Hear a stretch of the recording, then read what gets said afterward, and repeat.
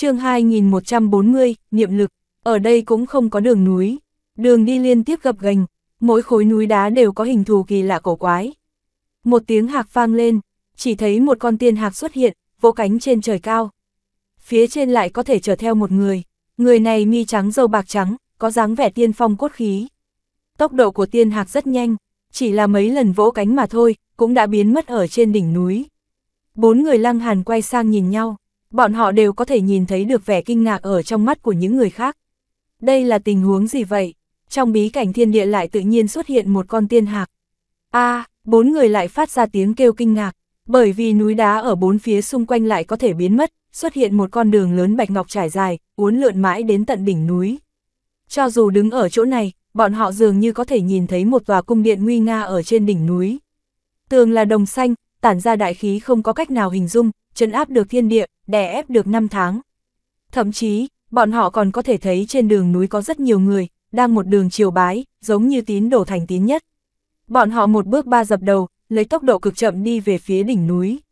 Bọn họ mỗi lần bái lạy, cung điện đồng thao hình như lại sáng lên một tia.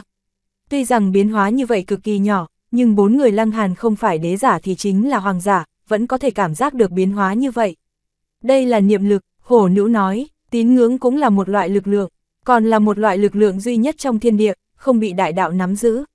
Đừng thấy lực lượng của một tín đồ là yếu ớt, nhưng tập hợp niệm lực của hàng vạn, hàng ức tín đồ sẽ hình thành biến chất. Lăng Hàn gật đầu, tương đương với thực lực quốc gia sao? Khác nhau, thực lực quốc gia cần thành lập quốc gia trước, với vật tổ làm trung gian, tập trung lực lượng của quốc dân. Hổ nữ lắc đầu, thân là truyền nhân của thế lực lớn tiên vương cửu trọng, còn có dấu vết do một vị tiên vương cửu trọng để lại. Tri thức của nàng lại cực kỳ uyên bác, độ cao tín ngưỡng còn muốn vượt xa so với thực lực quốc gia. Hơn nữa thực lực quốc gia cần có lòng trung thành với quốc gia. Tín ngưỡng lại là đối với cá nhân, hoàn toàn khác nhau. Chỉ có điều, lực tín ngưỡng cũng có nhược điểm. Tín đồ tại sao phải tín ngưỡng ngươi? Hổ nữ dừng một chút, bởi vì tín đồ trung quy sẽ gặp phải vấn đề khó khăn. Đến lúc đó sẽ xin giúp đỡ từ phía chủ tín ngưỡng. Nếu như không có nhận được sự đáp lại, tín đồ này nói không chừng sẽ đánh mất tín ngưỡng. Một tín đồ có khả năng 100 năm cũng rất khó gặp được vấn đề khó khăn. Nhưng số lượng một nhiều, vậy quá phiền phức. Lăng Hàn gật đầu, nói, theo cái này có thể thấy, ở đây đã từng là đàn tràng của một vị tiên vương. Nhưng một ngày nào đó phát sinh đại chiến, tất cả đều bị phá hủy, biến thành nguyên hình của Tam Hoa Cốc. Sau đó, lực lượng thiên địa bắt đầu cải tạo nơi đây, liền có Tam Hoa Cốc hiện tại. Nữ hoàng tiếp lời nói, cho nên tất cả những điều này đều là huyễn ảnh, là vô số năm trước, thời điểm đàn chàng tiên vương vẫn tồn tại. Lưu lại cảnh giống như thịnh thế, Nhu yêu nữ cũng nói, trong lúc nói chuyện, con đường núi đổ sộ sơn và những tín đồ với dáng vóc tiểu tụy đột nhiên đều biến mất. Đây dù sao chỉ là một đoạn ngắn trong dòng sông dài lịch sử, đã sớm trôi qua. Chỉ có thể dành cho hậu nhân tưởng nhớ một chút, bốn người lăng hàn đều có chút thổn thức, năm đó vị kia tiên vương kia chí ít cũng là tồn tại thất trọng thiên. Hắn vốn phải là vạn cổ bất diệt, nhưng bây giờ lại hoàn toàn biến mất ở trong dòng sông lịch sử. Ngay cả phong hiệu là cái gì cũng không có người nào biết được. Ngay cả tiên vương còn như vậy, vậy còn có cái gì là vạn kiếp bất diệt, thật sự có thể thoát khỏi sinh tử ràng buộc, vĩnh hằng bất diệt. a à, hổ nữ lại bắt đầu nhân cái mũi nhỏ lại, thơm quá, lại có tiên dược sao? Lăng Hàn hỏi, đối với khứu giác của tiểu nha đầu, hắn tất nhiên là tin tưởng vô cùng. Hổ nữ nghiêng một đầu, suy nghĩ một chút, sau đó nói. Chắc là tiên dược, nhưng có chút cổ quái. Chỗ nào cổ quái? Lăng Hàn hỏi, không biết nên nói như thế nào. Dù sao cũng chính là kỳ quái. Lăng Hàn suy nghĩ một chút, nói. Bất kể nói thế nào, cứ tìm tới xem thử đã. Vẫn là hổ nữ dẫn đường. Chỉ chốc lát, Lăng Hàn và nữ hoàng cũng ngửi thấy được mùi đặc biệt thuộc về tiên dược. Vừa ngửi một chút liền biết, trong nháy mắt lại khiến cho thần hồn của bản thân mình tương hợp cùng đại đạo. Không phải bất kỳ vật nào cũng có khả năng thay thế được. Bọn họ lại một đường theo mùi thơm di chuyển. Rất nhanh, bọn họ tìm được một sơn động, vô cùng tối tăm. Mùi thơm của tiên dược chính là từ bên trong sơn động truyền ra. Có mùi máu tươi, hổ nữ lại nhăn cái mũi nhỏ, vẻ mặt lộ ra hung quang. Nàng đặc biệt mẫn cảm đối với các loại sát ý.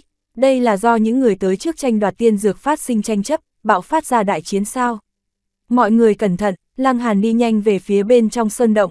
Đã đến nơi này, hắn tất nhiên không có đạo lý nửa đường vứt bỏ đạo lý, tất nhiên cũng muốn xem thử một chút. Ba người nữ hoàng đều đuổi theo, nhưng bọn họ ở bên trong đi qua một vòng, lại không có phát hiện ra cái gì. Mùi tiên dược vẫn còn ở đây, nhưng tiên dược lại mất tích. Có lẽ là bị người lấy đi. Đi thôi, bốn người đều lắc đầu, ra khỏi sơn động, tiếp tục đi về phía trên núi. Sau khi đám người lăng hàn hoàn toàn biến mất, từ bên trong sơn động lại có một người đi ra.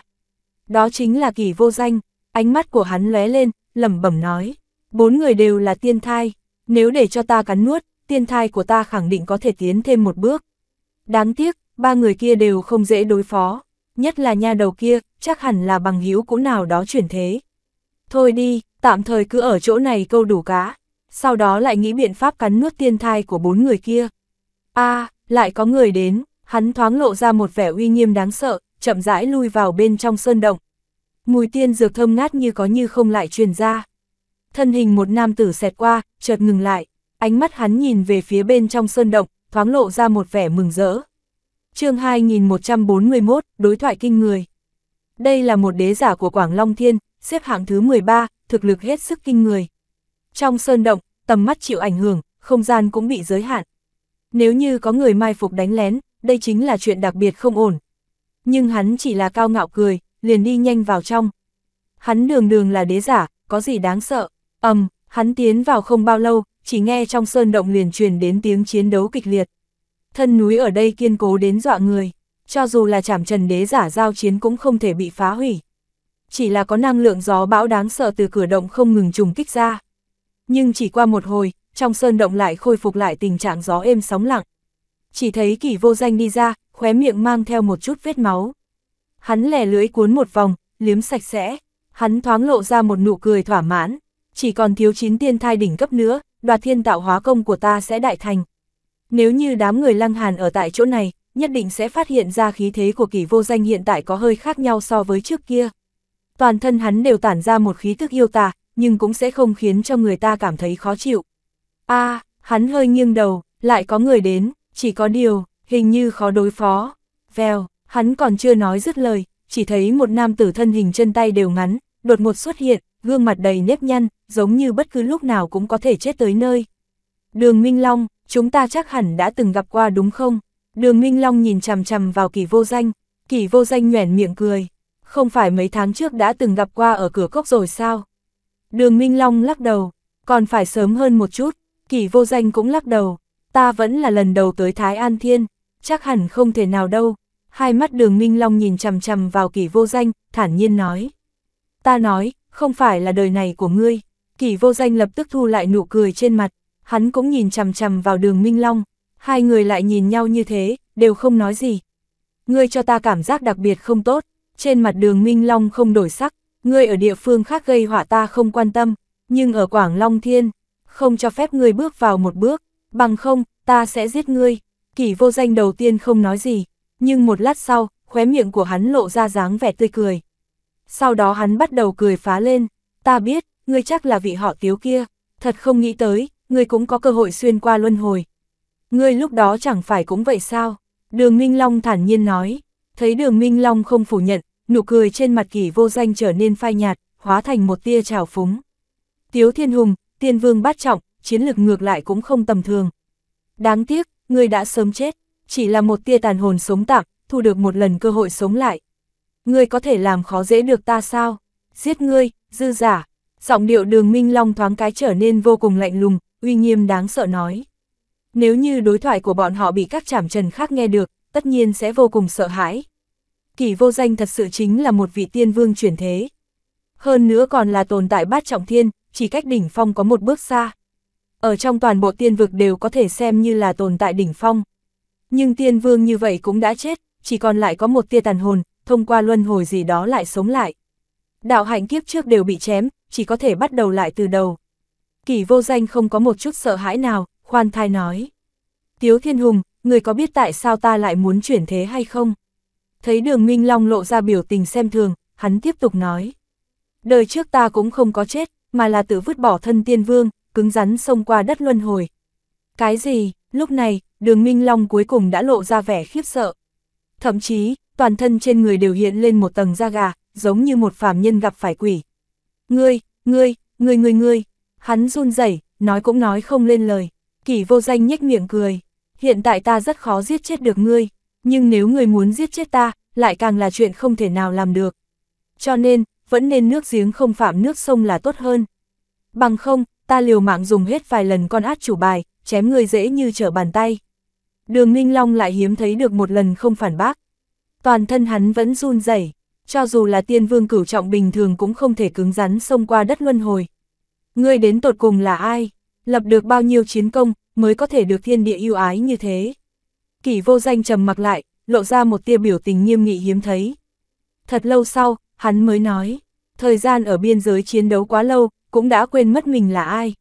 Nếu ngươi cũng từ nơi đó trở về, cũng biết tình thế nơi đó nghiêm trọng tới mức nào. Vâng, đường minh nghiêm nghị gật đầu, có một chút cung kính, thậm chí kính nể.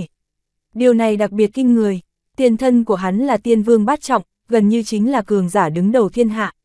Nhưng hắn lại có thể lộ ra vẻ kính sợ đối với một người khác. Vậy kỳ vô danh này lại là tồn tại như thế nào? Tiên vương cửu trọng, chuyện gì xảy ra vậy?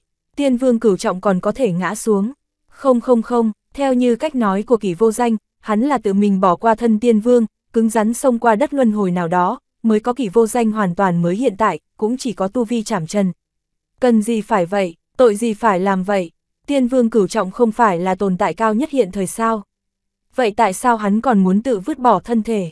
Mấy lão gia hỏa kia trong lòng chỉ lo cho bản thân mình, muốn hoàn toàn quét sạch chiều hắc ám, chỉ vì thành tựu thiên tôn. Kỷ vô danh mở miệng, giọng nói lo lắng, giống như tiếng chuông, chuyển kiếp vạn cổ. Đường Minh Long càng thêm có vẻ cung kính, nói, đại nhân vì bình định chiều hắc ám, không tiếc buông tha thân thể tiên vương cửu trọng, vãn bối bội phục. Chỉ có điều, hắn lộ ra một chút do dự, những người tuổi trẻ hiện tại này cũng chính là hy vọng sau này. Vẫn mong đại nhân hạ thủ lưu tình, vì đại nghiệp, tất nhiên phải có hy sinh, kỳ vô danh thản nhiên nói, ta ngay cả tấm thân tiên vương cửu trọng cũng có thể buông tha, liều chết xông qua đất luân hồi. Hy sinh như vậy cũng làm, đám tiểu bối này thì không thể hy sinh một chút sao. chương 2142, Đại đạo chân giải thượng. Nhưng, đường Minh Long hiển nhiên không ủng hộ cách nói của đối phương. Không có nhưng nhị gì cả, kỷ vô danh nói như đinh đóng cột, nể tình ngươi đã ở biên giới cống hiến rất nhiều, ta mới muốn nói với ngươi nhiều như vậy. Nhưng còn nhiều lời nữa, ta liền lấy tính mạng của ngươi. Đường Minh Long do dự, nhưng rất nhanh liền nói, ta xuyên qua luân hồi, chỉ muốn trở lại tiên vương, lại tới biên giới chống lại triều hắc ám, chính là để bảo vệ con cháu hậu đại của chúng ta. Nhưng đại nhân muốn bảo ta trơ mắt nhìn ngài tàn sát hy vọng sau này, vậy thứ lỗi cho vãn bối không có cách nào tuân mệnh. Như dị ở Quảng Long Thiên, hắn là thiên tài tuyệt diễm, sau này có cực lớn cơ hội thành tựu tiên vương cửu trọng, có thể trở thành chủ lực chống lại triều hắc ám. Nhân tài như vậy, không đáng để chết ở trong tay đại nhân. Chắc hẳn nên dành cho hắn cơ hội được trưởng thành, ánh mắt thiền cận, kỳ vô danh uy nghiêm đáng sợ nói. Hắn đột nhiên liền xông về phía đường Minh Long, một trưởng đánh ra. ầm, um, toàn thế giới đều hóa thành một mảnh tối đen, chỉ có bàn tay của hắn là tồn tại vĩnh hằng giống như khai thiên bổ địa, có thể chấn áp tất cả. Đây là nắm giữ lực lượng tiên vương cường đại, nhưng lại không phải hoàn toàn là lực lượng tiên vương. Cũng giống như Lăng Hàn nắm giữ cửu thiên hỏa, đây rõ ràng là cấp bậc tiên vương, nhưng bị giới hạn trong cảnh giới. Dù thuộc về tiên vương, nhưng uy lực lại muốn kém hơn rất nhiều. Đắc tội, đại nhân, đường Minh Long khẽ quát một tiếng, phút phút phút, xương cốt toàn thân hắn vang lên những tiếng hung bạo, trong nháy mắt hắn liền từ một nam tử thấp lùn biến thành đại hán cao bảy thước, phát ra uy thế vô thượng. Hắn không sợ hãi chút nào đón nhận, hiên ngang lẫm liệt. Lấy kiếp trước của bọn họ ra để nói, đường Minh Long này khẳng định không phải là đối thủ của kỳ vô danh. Tiên vương bát trọng gặp gỡ tiên vương cửu trọng, trực tiếp đối đầu chính là một chữ chết. Nhưng bây giờ mọi người đều là ngũ trảm đế giả, bị giới hạn trong cảnh giới, lấy ra được lực lượng tiên vương bát trọng, tiên vương cửu trọng cường đại, nhưng thật ra không có tranh lệch quá mức lớn. Bởi vậy, cuộc chiến đấu vô cùng kịch liệt, khó phân cao thấp. Quả nhiên giống như ngay từ đầu kỷ vô danh đã nói. Hắn nếu muốn giết đường Minh Long không dễ dàng, phải vận dụng tuyệt chiêu nào đó. Nhưng đường Minh Long nếu muốn giết hắn lại là chuyện hoàn toàn không có khả năng. Cuộc chiến đấu kịch liệt, không ngừng tiến hành. Sau khi lên tới độ cao này, dọc đường đi ngược lại không có gì cản trở. Bốn người lăng hàn chỉ tốn gần nửa ngày đã đi tới chỗ gần đỉnh núi. Ở đây mây mù lượn quanh, giống như tiên cảnh. Phía trước, xuất hiện một đám người. Không ngờ Thư Nhã Dung, nghiêm tiên lộ cũng có mặt ở đó. Lăng hàn sái bước đi qua, nói, nghiêm huynh, các người thế nào đều dừng lại ở trong này vậy? Lăng huynh, ta cũng không đành lòng nói cho ngươi biết, sợ ngươi đấm ngược dậm chân. Nghiêm tiên lộ lắc đầu cảm thán, Lăng Hàn không khỏi cười, nói, nghe vậy, ta lại càng thêm tò mò, nghiêm tiên lộ gật đầu, chỉ vào phía trước nói, phía trước có một tấm bia đá, dựa vào, gương mặt người chết, người muốn chết, hổ nữ lập tức kêu lên, gia hỏa này lại dám đùa giỡn bọn họ, nghiêm tiên lộ cứng người lại, ở trước mặt hổ nữ hắn thật sự không dám đùa bỡn. Hắn vội vàng nói, tấm bia đá này thật sự không đơn giản, nó là thiên địa sinh dưỡng thành, phía trên, có khắc đại đạo chân giải, đại đạo chân giải, đại đạo chân giải, lăng hàn và nữ hoàng đều lộ ra vẻ mặt nghi ngờ. Hổ nữ lại lập tức nhảy dựng lên, sắn tay áo lên, nói. Ở đâu, ở đâu, đó là của nữ, bộ dạng đầy vẻ tham lam, đó là cái gì? Lăng Hàn nhìn về phía nghiêm tiên lộ hỏi. Lăng huynh, chúng ta tu luyện, tìm hiểu chính là quy tắc. Nhưng quy tắc vô hình, bởi vậy mỗi người đối với đại đạo đều có thứ mình hiểu. Không ai có thể nói mình lĩnh ngộ được rốt cuộc là đúng hay sai. Nghiêm tiên lộ nghiêm nghị nói. Lăng Hàn gật đầu, quả thực là như vậy. Cho dù hắn nắm giữ hai đạo thiên địa bản nguyên cửu thiên hỏa và huyền âm mẫu thủy này, nhưng ở thời điểm lĩnh ngộ thiên địa đại đạo cũng chỉ có thể thông qua phương thức nói bóng nói gió. Nhiều nhất là thuận tiện hơn so với người khác một chút. Nhưng đại đạo chân giải, nghiêm tiên lộ dừng một chút, lại nói tiếp, lại là thiên địa lấy thủ đoạn thần kỳ cụ thể hóa ra đại đạo, khiến cho ngươi có thể chân chính ung dung tìm hiểu. Dĩ nhiên, đại đạo chân giải đều là thứ cơ sở nhất. Đối với chúng ta tu luyện, quan trọng nhất thật ra cũng là cơ sở. Lăng Hàn đồng ý, giống như lúc trước khi hắn ở quan hóa thành truyền bá đan đạo, nói ra cũng là những thứ cơ sở nhất, lại làm cho đan sư tam tinh đều lộ vẻ xúc động, cuối cùng cung kính, gần như xem hắn là đại sư. Bất kể người có thiên phú thông minh thế nào đi nữa, nhưng quy tắc vô hình, trung quy không thể nào nắm giữ được hoàn mỹ. Cho dù là tiên vương cửu trọng cũng sẽ có một ít tranh lệch rất nhỏ như vậy. Có thể có đại đạo chân giải lại khác, có thể đối chiếu từng chỗ, bù đắp lại những nơi không hoàn mỹ, trở lại sự hoàn mỹ không chút thiếu sót. Chỉ có điều, thiên hạ có quá nhiều quy tắc, cũng không biết đại đạo chân giải này là nhằm vào loại nào. Nghiêm tiên lộ nói, phía trước có lạch trời gì, lại có thể khiến cho mỗi người đều đứng ở chỗ này. Lăng Hàn cười nói, có bảo vật như vậy chắc hẳn là người người anh dũng lao tới mới phải. Làm sao có thể khiến cho mỗi người đều chỉ dương mắt nhìn. Không phải là lạch trời, mà là chó dữ. Nghiêm tiên lộ nói, chó, nữ thích nhất là ăn thịt chó. Hổ nữ lập tức chen vào đoàn người, một đường đấu đá lung tung. Tuy rằng không ít người bị nàng đụng tới ngã trái ngã phải. Nhưng tiểu nha đầu đã có hung danh, người bị nàng đụng chúng, cũng chỉ quay sang chừng mắt với nàng một cái, không dám nói gì. Oa, con cóc thật lớn, con cóc thật là xấu xí. Phía trước, hổ nữ hô to gọi nhỏ, sau đó nàng liền tức giận chạy trở về, nhìn về phía nghiêm tiên lộ kêu lên. Chó, chó đã nói đâu, nghiêm tiên lộ quả thực bất đắc dĩ, nói, ta nói chó, chỉ là một loại ví von, gọi là chó tốt không cản đường. Nữ không quan tâm, nhanh bồi thường thịt chó cho nữ đây. Hổ nữ oa oa kêu to. chương 2143, Đại đạo chân giải hạ. Lăng Hàn cũng đi tới phía trước, chỉ thấy phía trước có một đài cao.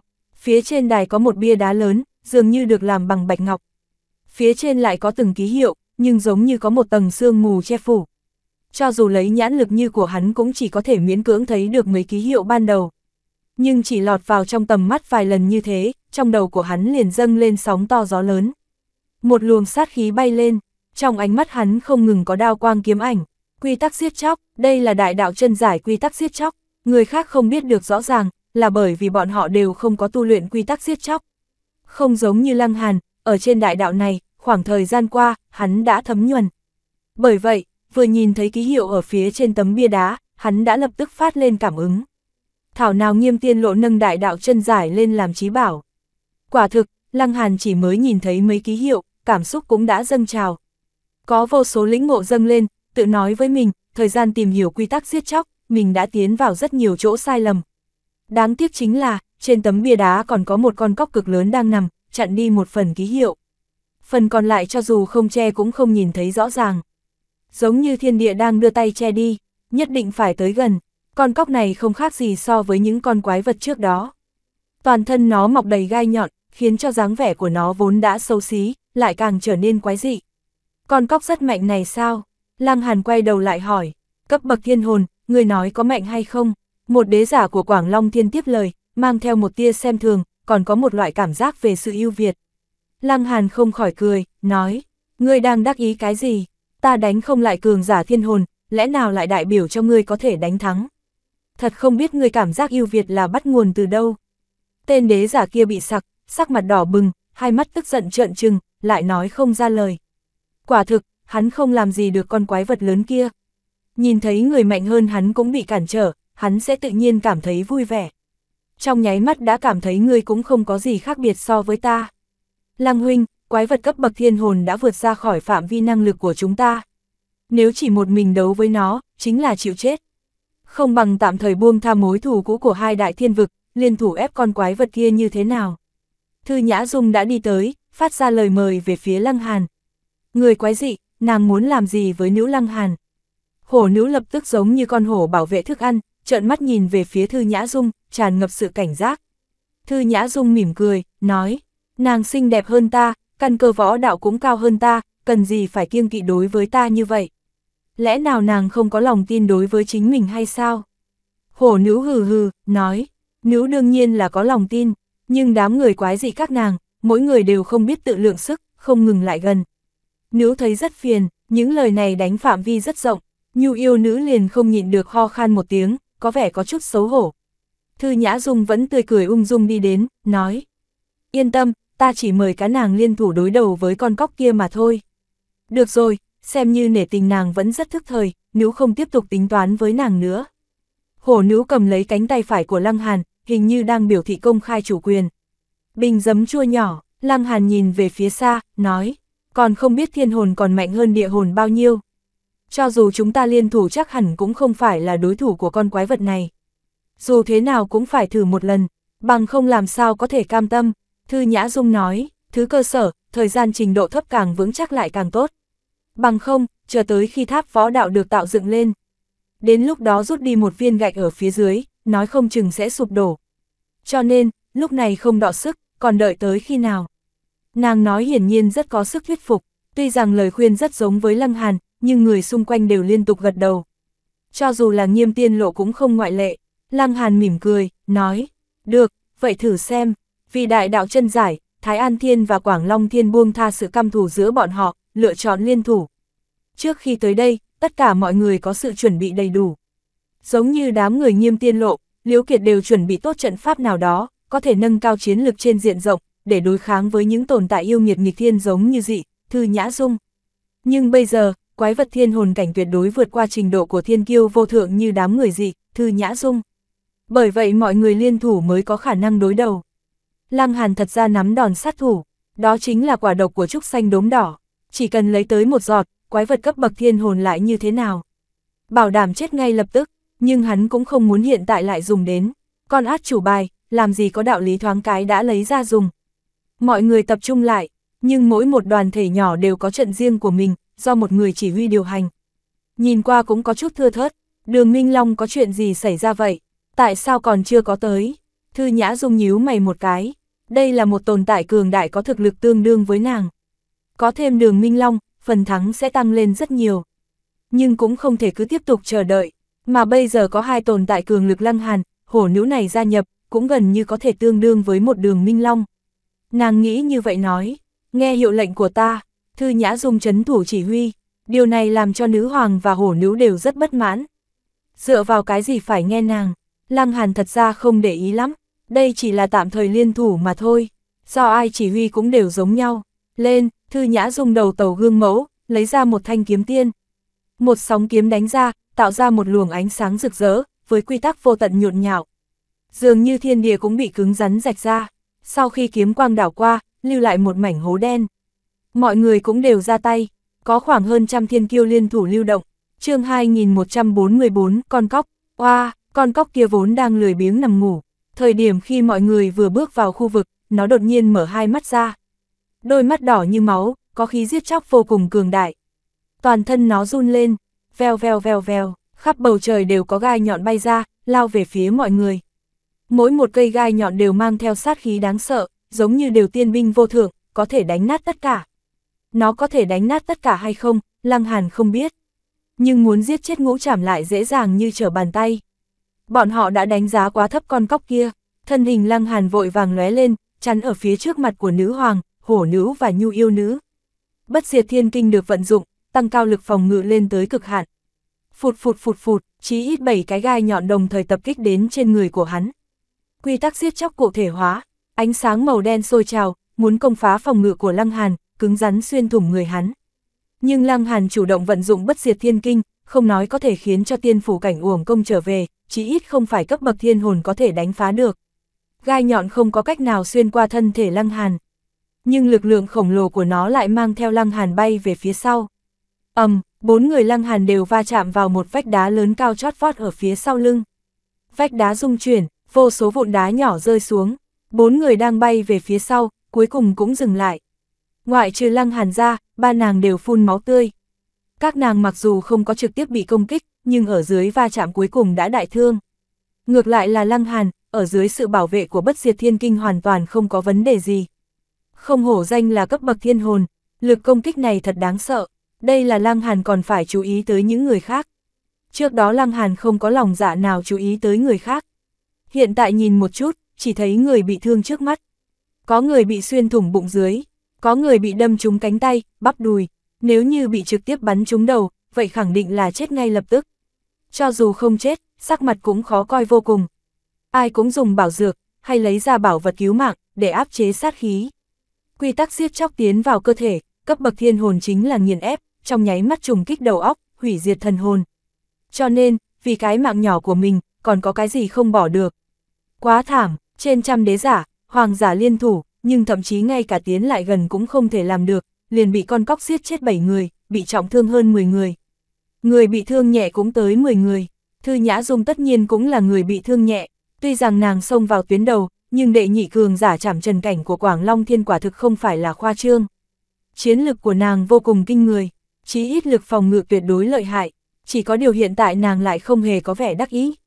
Mình có mấy phần thực lực nàng đương nhiên biết rõ, không cần thiết phải đắc chí. Vấn đề là, con cóc kia mạnh như thế, bọn họ phải làm thế nào có khả năng bắt được, thật ra một mình nàng cũng có thể làm được, nhưng nàng phải bỏ ra cái giá rất lớn, hơn nữa còn sẽ làm cho nàng ở trong khoảng thời gian ngắn mất đi chiến lực. Như vậy dĩ nhiên là trăm triệu lần không thể làm ra các thi triển khác. Trừ khi nàng có thể xác nhận bản thân tuyệt đối an toàn.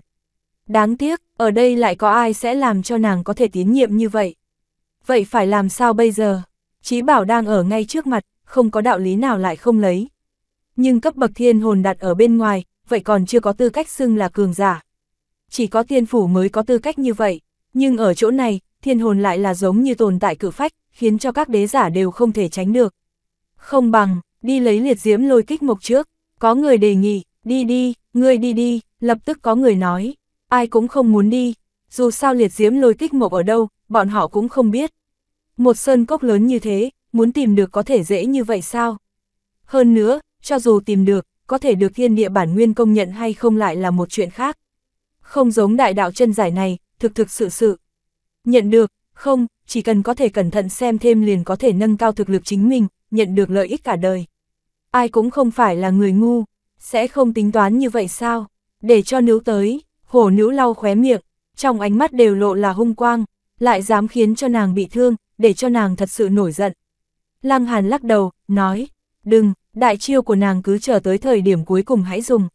Hắn đi nhanh về phía trước, quyết định vận dụng quả độc của trúc xanh đốm đỏ. Ngay từ đầu, hắn đã dự định được, nếu như liên thủ có thể tới gần, như vậy hắn sẽ cất giấu trúc xanh đốm đỏ. Nếu chẳng may không được, hắn lại vận dụng, con át chủ bài có thể không để lộ thì không để lộ. Đại đạo chân giải của quy tắc giết chóc hắn cũng nhất định phải được. Con cóc cũng không thừa thắng truy kích, chỉ cần sau khi mọi người rời khỏi khu vực nhất định, nó cũng sẽ không có phản ứng gì. Chỉ là lười biếng nằm ngủ, mà khi Lăng Hàn nhảy vào khu vực nhất định, hai mắt nó lập tức mở ra, theo dõi Lăng Hàn. Vèo, hai tay, hai chân nó bắn ra, thân hình nhảy lên. Tốc độ nhanh kinh người, trong nháy mắt đã sắp đến trước mặt Lăng Hàn. Đây rõ ràng không phải là di chuyển không gian, lại là đạt tới hiệu quả gần như tương tự. Một cái lưỡi đỏ như máu phun ra, giống như linh thương, đánh thẳng vào mặt Lăng Hàn. Vút, công kích này quá mức sắc bén, quá nhanh chóng. Lăng Hàn căn bản né tránh không được, nhất thời trên mặt đã bị đập một cái. Hắn chỉ cảm thấy trên mặt có chút bỏng rát, quy tắc xiết chóc giống như hóa thành mũi nhọn, khoan vào khiến mặt hắn thấy đau đơn. Đây vẫn là bởi vì có bất diệt thiên kinh bảo vệ. Nếu không, một lưỡi này quất xuống, mặt hắn khẳng định đã bị đập nát. Muốn ta công kích sao? Lăng Hàn xuất kiếm, nhưng tay lại đưa ra ngoài, lại trống rỗng hoàn toàn không có chút sức lực nào. Hóa ra hắn ở dưới một đòn này đã bị đánh bay ra ngoài. Hổ nữ và nữ hoàng đồng thời nhảy ra, đỡ được Lăng Hàn. Lăng Hàn A, người bị con cóc rán nước bọt vào mặt.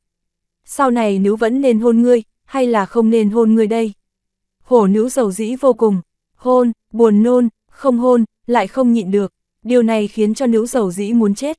chương 2145, độc quả lập công. Lăng Hàn chỉ có thể cười khổ, đầu óc của nha đầu kia không thể suy nghĩ bình thường một chút hay sao? Chính hắn đứng lên, nhìn con cóc kia lại bắt đầu ngủ, trong đầu lại hồi tưởng lại cảnh tượng vừa rồi. Thời gian xuất kiếm cần sớm hơn một chút, hắn tự nhủ, trở lại, hắn lại xông ra, ầm, chỉ là trong nháy mắt, hắn liền giống như một quả pháo đạn, bị đánh trở về. Lúc này hắn trực tiếp bị đập vào phái trên vách núi đá, chấn động tới mức mặt đất cũng khẽ run lên một cái. Xuất kiếm quá sớm, uy lực không đủ, trở lại, ầm, ầm, ầm, Lăng Hàn liên tục bị đánh ra 7 lần, ngưng mỗi lần không phải xuất kiếm muộn, cái gì cũng không có đụng tới, thì chính là quá sớm, uy lực quá yếu, không có cách nào đâm thủng phòng ngự của con cóc, phóng độc tố ra. Mọi người thấy cảnh tượng đó vừa buồn cười lại vừa giật mình. Ngươi rốt cuộc là đi đánh quái, hay để cho quái bạo cúc vậy?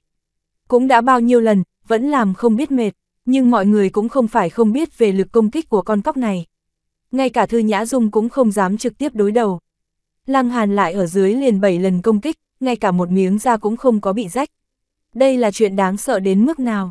Gia hỏa này, cũng là một quái vật, trong mắt Thư Nhã Dung phát ra ánh sáng kỳ dị, trong lòng nàng thầm nói, hắn cũng không phải là tiên vương xông qua luân hồi chuyển thế.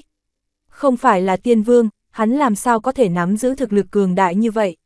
Chẳng lẽ lại là một yêu nghiệt cái thế, khiến cho tiên vương chuyển thế cũng chỉ có thể cam bái hạ phong? Hắn, là dị thứ hai sao? Lăng Hàn lắc đầu, tốc độ của con cóc này quá nhanh, công kích cũng quá nhanh, trong nháy mắt lướt qua căn bản không thể nắm chắc được. Hắn muốn đâm trúng quái vật này, không thử vài lần căn bản không có khả năng làm được. Vấn đề là, số lần hắn có thể chủ động vận chuyển bất diệt thiên kinh là có hạn. Tối đa cũng chỉ có thể vận dụng 3 lần, phải mau chóng lập công, chỉ có vận dụng quy tắc thời gian. Lăng Hàn thầm nghĩ, hơn nữa còn phải lấy ra lực của hắc tháp, nếu không, lấy lực ngũ trảm của hắn, tương đương với lực quy tắc dương hồn muốn đối với thiên hồn, hiệu quả cũng quá miễn cưỡng. Gần như chính là xa vời, tuy rằng điều này hao tổn hết lực lượng của hắn, nhưng phòng ngự của bản thân hắn sẽ không bởi vì kiệt sức mà suy yếu. Hắn không sợ bị người khác nhân cơ hội công kích, chiến lực của hổ nữ, nữ hoàng đều đang còn, đủ để bảo đảm quyền phát biểu. Về phần chiến lược của nhu yêu nữ lại là bị hắn hoàn toàn không để ý tới.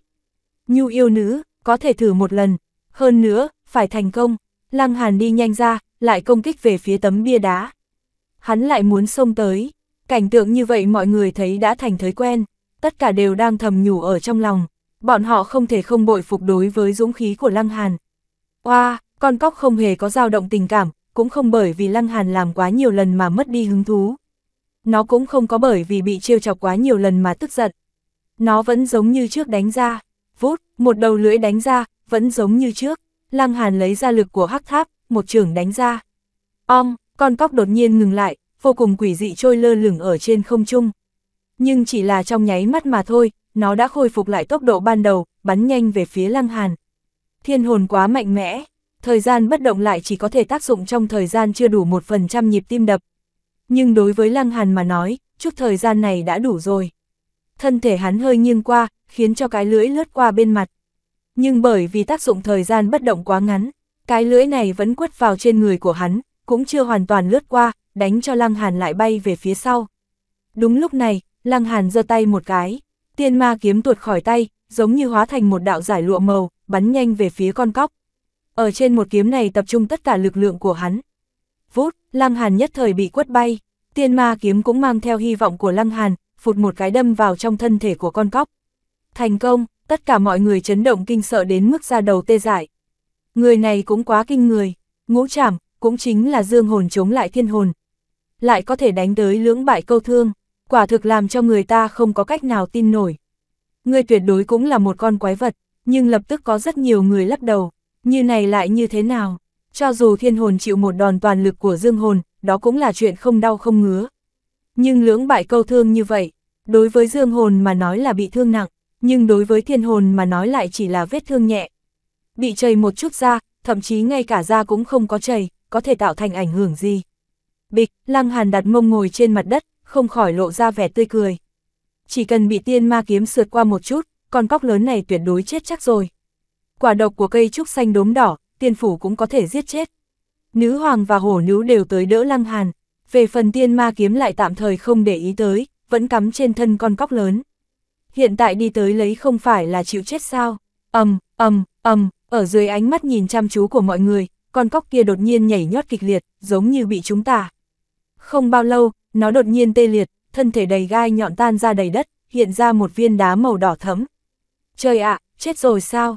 Tất cả mọi người đều trợn mắt há hốc mồm, bọn họ chỉ cảm thấy không thể tưởng tượng nổi, người chẳng qua chỉ ném thanh kiếm ra ngoài, trừ khi đó là một thanh tiên khí chân chính, hơn nữa còn sống, nếu không làm sao có thể giết được một con quái vật cấp bậc thiên hồn. Không tin, không thể tin được, chỉ trong nháy mắt, lập tức liền có mười mấy người lao ra ngoài. Mục tiêu nhắm thẳng vào tiên ma kiếm, bất kể có phải là tiên khí hay không, nắm được trong tay lại nói sau. Hoa hoa hoa, thật là đám gia hỏa hèn hạ, hổ nữ giận dữ, thân hình lập tức lao ra ngoài. Các người thật là ác tâm, lăng hàn giết con cóc xấu xa kia, các ngươi không cảm kích ngược thì thôi, lại còn muốn trộm vật của hắn. Nếu phải đánh chết các ngươi, ầm ầm ầm, nàng một mình địch lại đám đông, cùng những người đó chiến đấu. chương 2146, vô sỉ tới cực độ thượng. Hoàng giả căn bản không phải là đối thủ của nàng, nhưng còn có ba gã đế giả gia nhập vào cuộc tranh đoạt. Một người trong đó không ngờ là Phí Vân, ba người này, nhất là Phí Vân, lại không phải là đối tượng hổ nữ có thể giải quyết dễ dàng. Bọn họ phát sinh chiến đấu kịch liệt, Lăng Hàn đang nhanh chóng khôi phục nguyên khí, hiện tại hắn cũng không có tiện ra tay, nữ hoàng lại đang canh giữ ở bên cạnh hắn, thay hắn hộ pháp. Ha ha, nếu quái vật đã giải quyết, vậy đồng minh cũng nên giải tán. Một đế giả của Quảng Long Thiên cười to, sau đó vẻ mặt lạnh lẽo. Đám cặn bã Thái An Thiên các ngươi còn không cút ngay cho ta. Lăng Hàn ở trong trạng thái này, vừa nhìn liền hiểu rõ ràng, đã mất đi chiến lực. Thái An Thiên bên này duy nhất đáng để coi trọng cũng chỉ là hổ nữ mà thôi. Như vậy còn không thể giải quyết dễ dàng sao?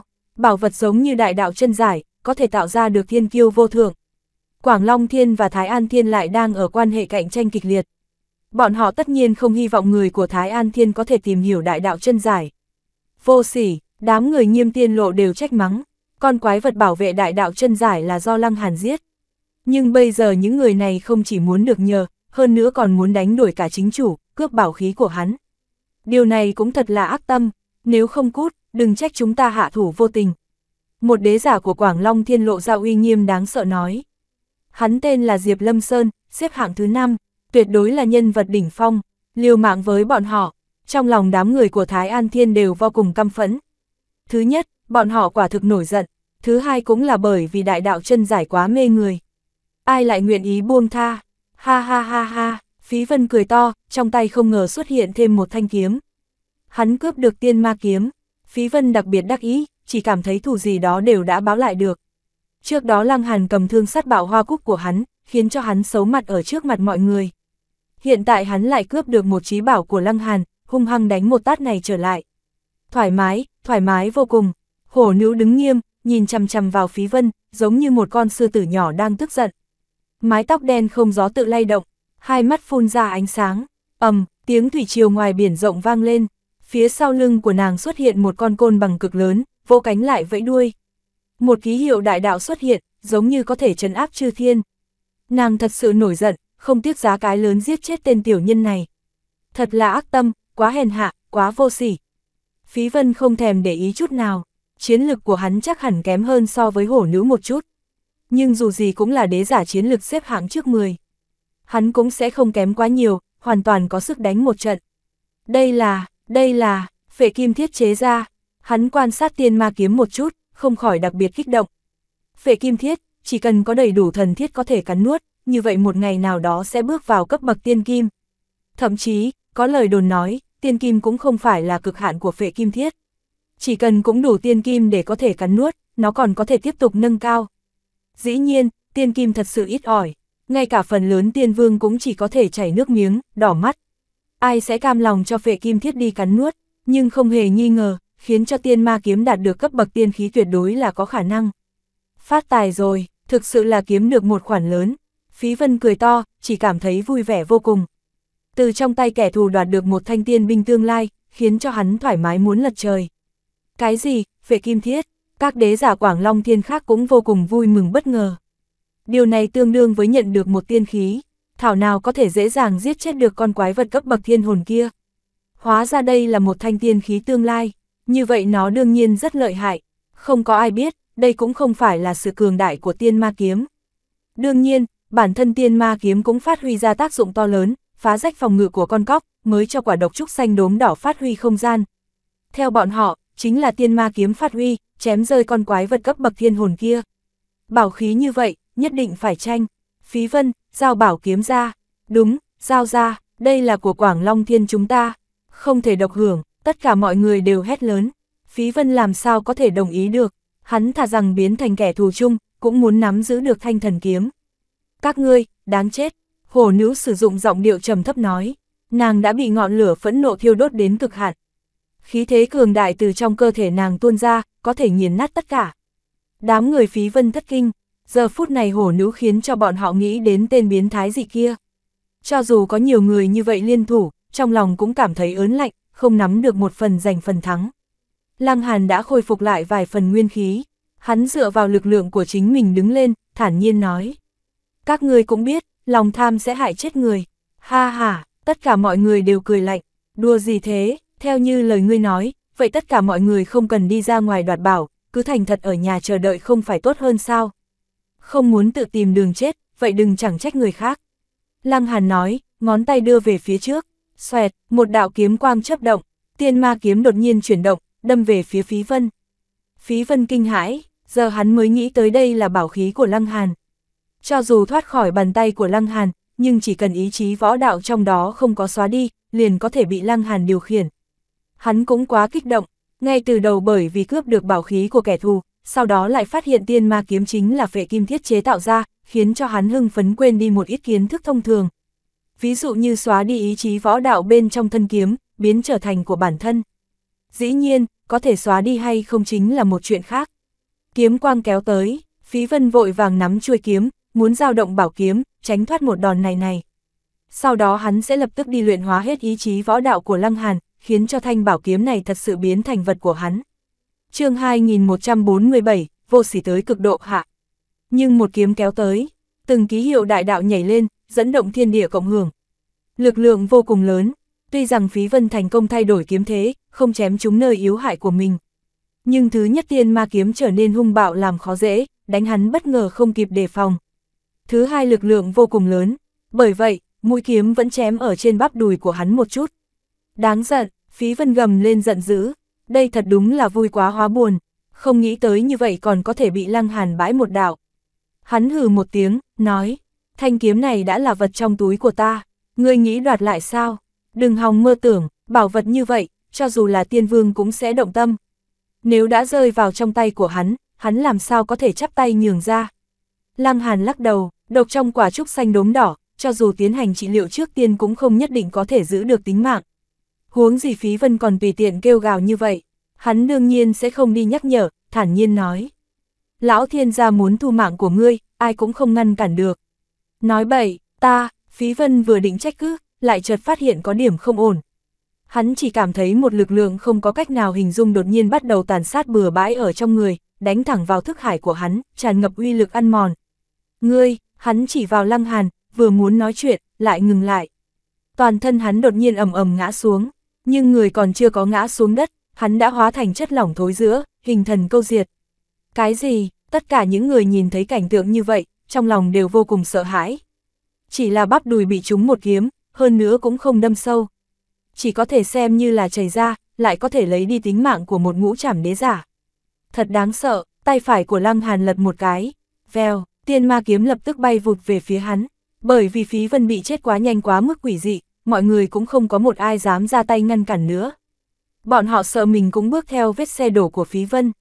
Bọn họ chỉ có thể trơ mắt nhìn tiên ma kiếm trở về trong tay Lăng Hàn. Vút, Lăng Hàn tiếp nhận tiên ma kiếm, thu vào trong hắc tháp, thản nhiên nói. Được rồi, các ngươi không phải là muốn rời khỏi đồng minh sao? Vậy cứ tới chiến đi. Tình trạng của hắn còn chưa có khôi phục lại điều kiện tốt nhất, nhưng những lời này lại tràn ngập khí phách, khiến cho người của Thái An Thiên đều cảm thấy nhiệt huyết sôi trào, da đầu đều tê dại. Đánh thì đánh, sợ cái lông gì. tới chiến đi, đánh không chết đám rùa rụt cổ các ngươi sao, các thiên kiêu của Thái An Thiên đều quát lớn, chủ yếu là trước đó một ít người của Quảng Long Thiên thực sự quá đáng. Không chỉ qua sông chặt cầu, càng đoạt bảo kiếm của Lăng Hàn, khiến cho tất cả mọi người nén một bụng tức. Bây giờ bọn họ bị một câu nói của Lăng Hàn hoàn toàn thiêu đốt lửa giận, oanh oanh liệt liệt phóng thích ra ngoài. Được rồi, mọi người đều là người của tiên vực, hơn nữa, còn có cùng chung kẻ địch, mọi người vẫn không nên tổn thương hòa khí thì tốt hơn. Thư Nhã Dung đi ra khuyên can, tổn thương hòa khí, Diệp Lâm Phong lộ ra vẻ uy nghiêm đáng sợ nói. Thư tiên tử, nàng cũng thấy đấy, Phí Vân vừa mới chết thảm ở trước mặt chúng ta. Chúng ta còn có khả năng sống chung hòa bình với Thái An Thiên được sao? Đúng vậy, thiên kiêu Quảng Long Thiên chúng ta không thể chết vô ích. Hơn nữa, tiểu tử kia rõ ràng nắm giữ năng lực chém giết quái vật, ngay từ đầu lại cố ý giấu giếm thực lực, hại chết mấy thiên kiêu Quảng Long Thiên chúng ta. Hắn đáng phải chết, đây thật cường từ đoạt lý. Thư Nhã Dung hơi nhíu mày liễu lại, nàng có cái nhìn đại cục, nhưng có một số việc nàng cũng không có tiện nói ra. Trong khoảng thời gian ngắn nàng không biết nên khuyên bảo thế nào. Chiến, Lăng Hàn hét lên một tiếng, trước khi xông ra ngoài, hắn đã khôi phục lại vài phần chiến lực. Phòng ngự của hắn là vô địch, cho dù không ở trạng thái toàn thịnh, hắn cũng không cần lo lắng tới sự an nguy của mình. Dưới sự lôi kéo của hắn, đám người nghiêm tiên lộ cũng đều xông ra. Mọi người nhẫn nhịn đã rất lâu, lúc này sảng khoái phát tiết ra ngoài. Thư Nhã Dung thở dài, thân hình lướt tới, chặn trước mặt Lăng Hàn. Một trưởng đưa ra, muốn ngăn cản Lăng Hàn lại, nói. Lăng huynh, vẫn mong huynh kìm chế một chút, lấy đại cục làm trọng. Đại cục, Lăng Hàn cười lạnh, bây giờ nàng nói đại cục với ta sao? Vừa rồi, thời điểm có người muốn đuổi ta đi, đại cục của nàng ở đâu? Vừa rồi, thời điểm có người cướp kiếm của ta, đại cục của nàng lại đang ở chỗ nào?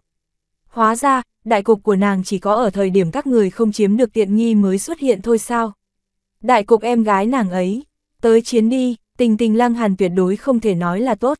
Đám người của Quảng Long Thiên đầu tiên là khinh bỉ đối với bọn họ, hiện tại lại muốn hãm hại hắn. Hắn có thể nhịn được mới là lạ. Hắn ra tay độc ác, hổ nữ cũng giết gào, toàn bộ chiến lực khai hỏa.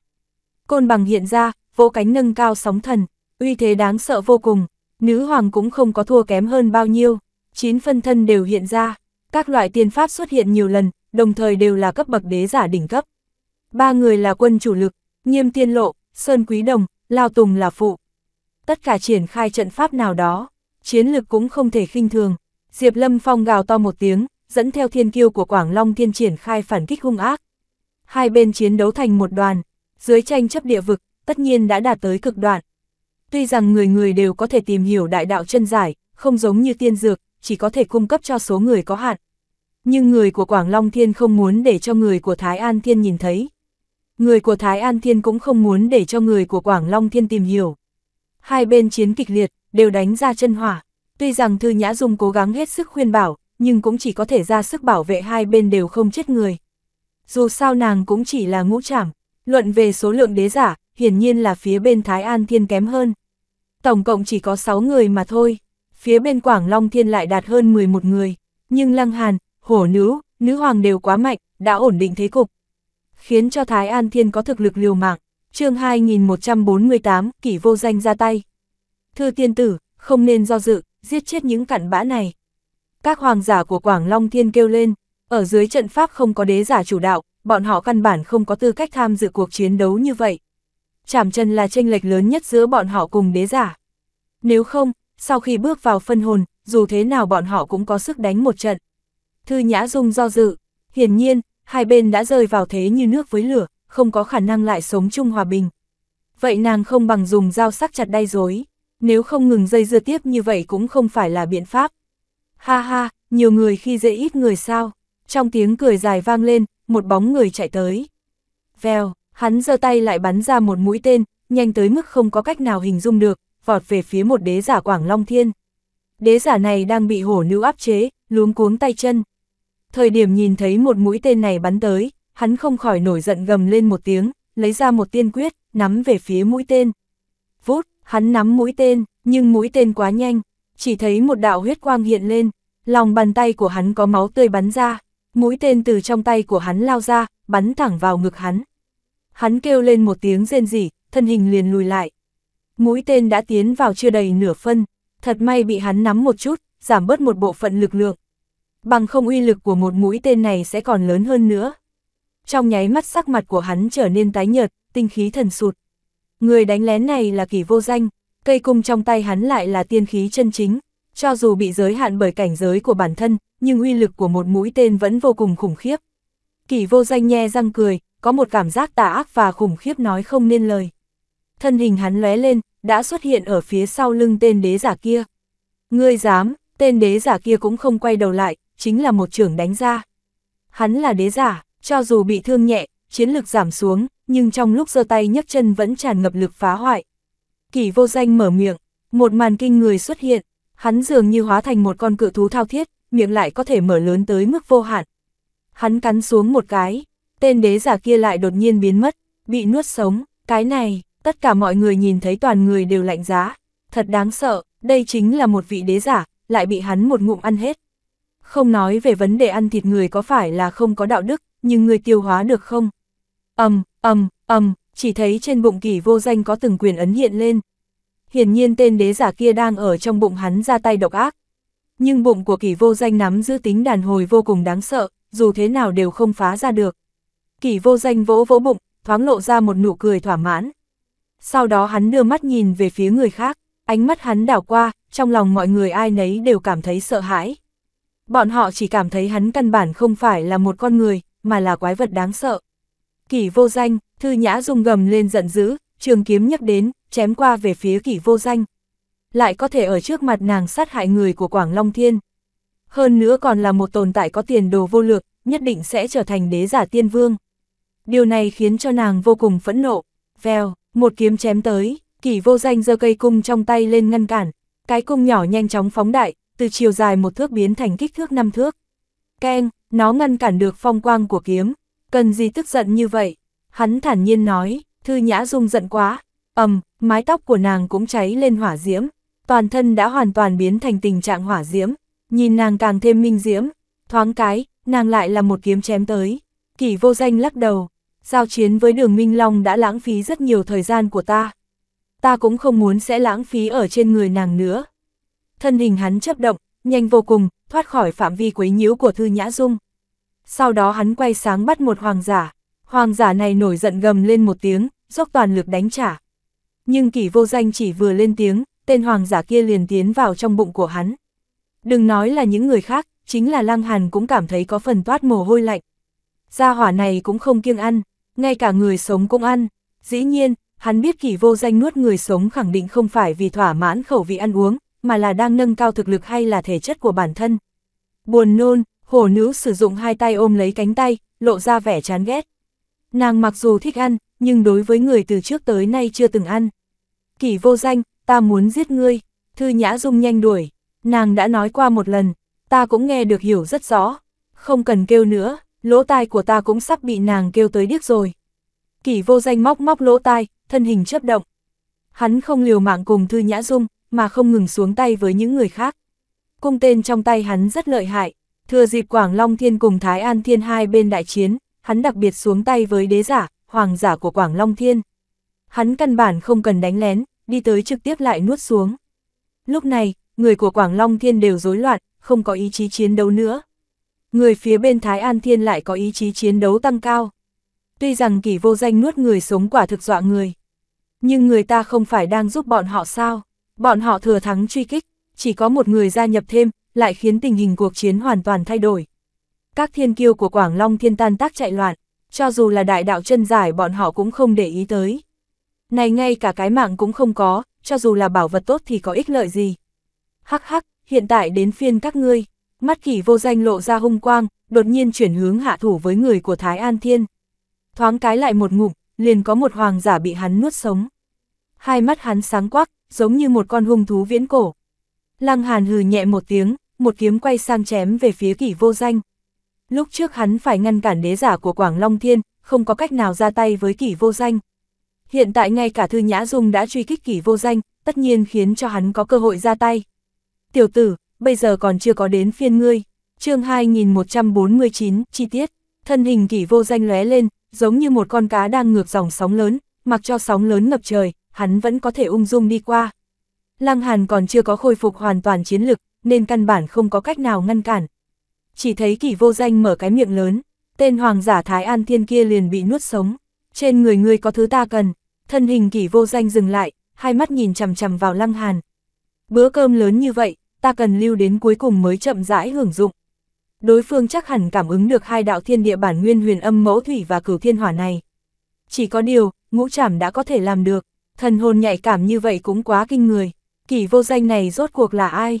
Nếu như Lăng Hàn có thể nghe được đối thoại của kỷ vô danh cùng đường Minh Long trước đó, như vậy hắn liền có thể hiểu ra. Người ta lại tiên vương cửu trọng chuyển thế, có một ít năng lực cao hơn cảnh giới lại có là gì?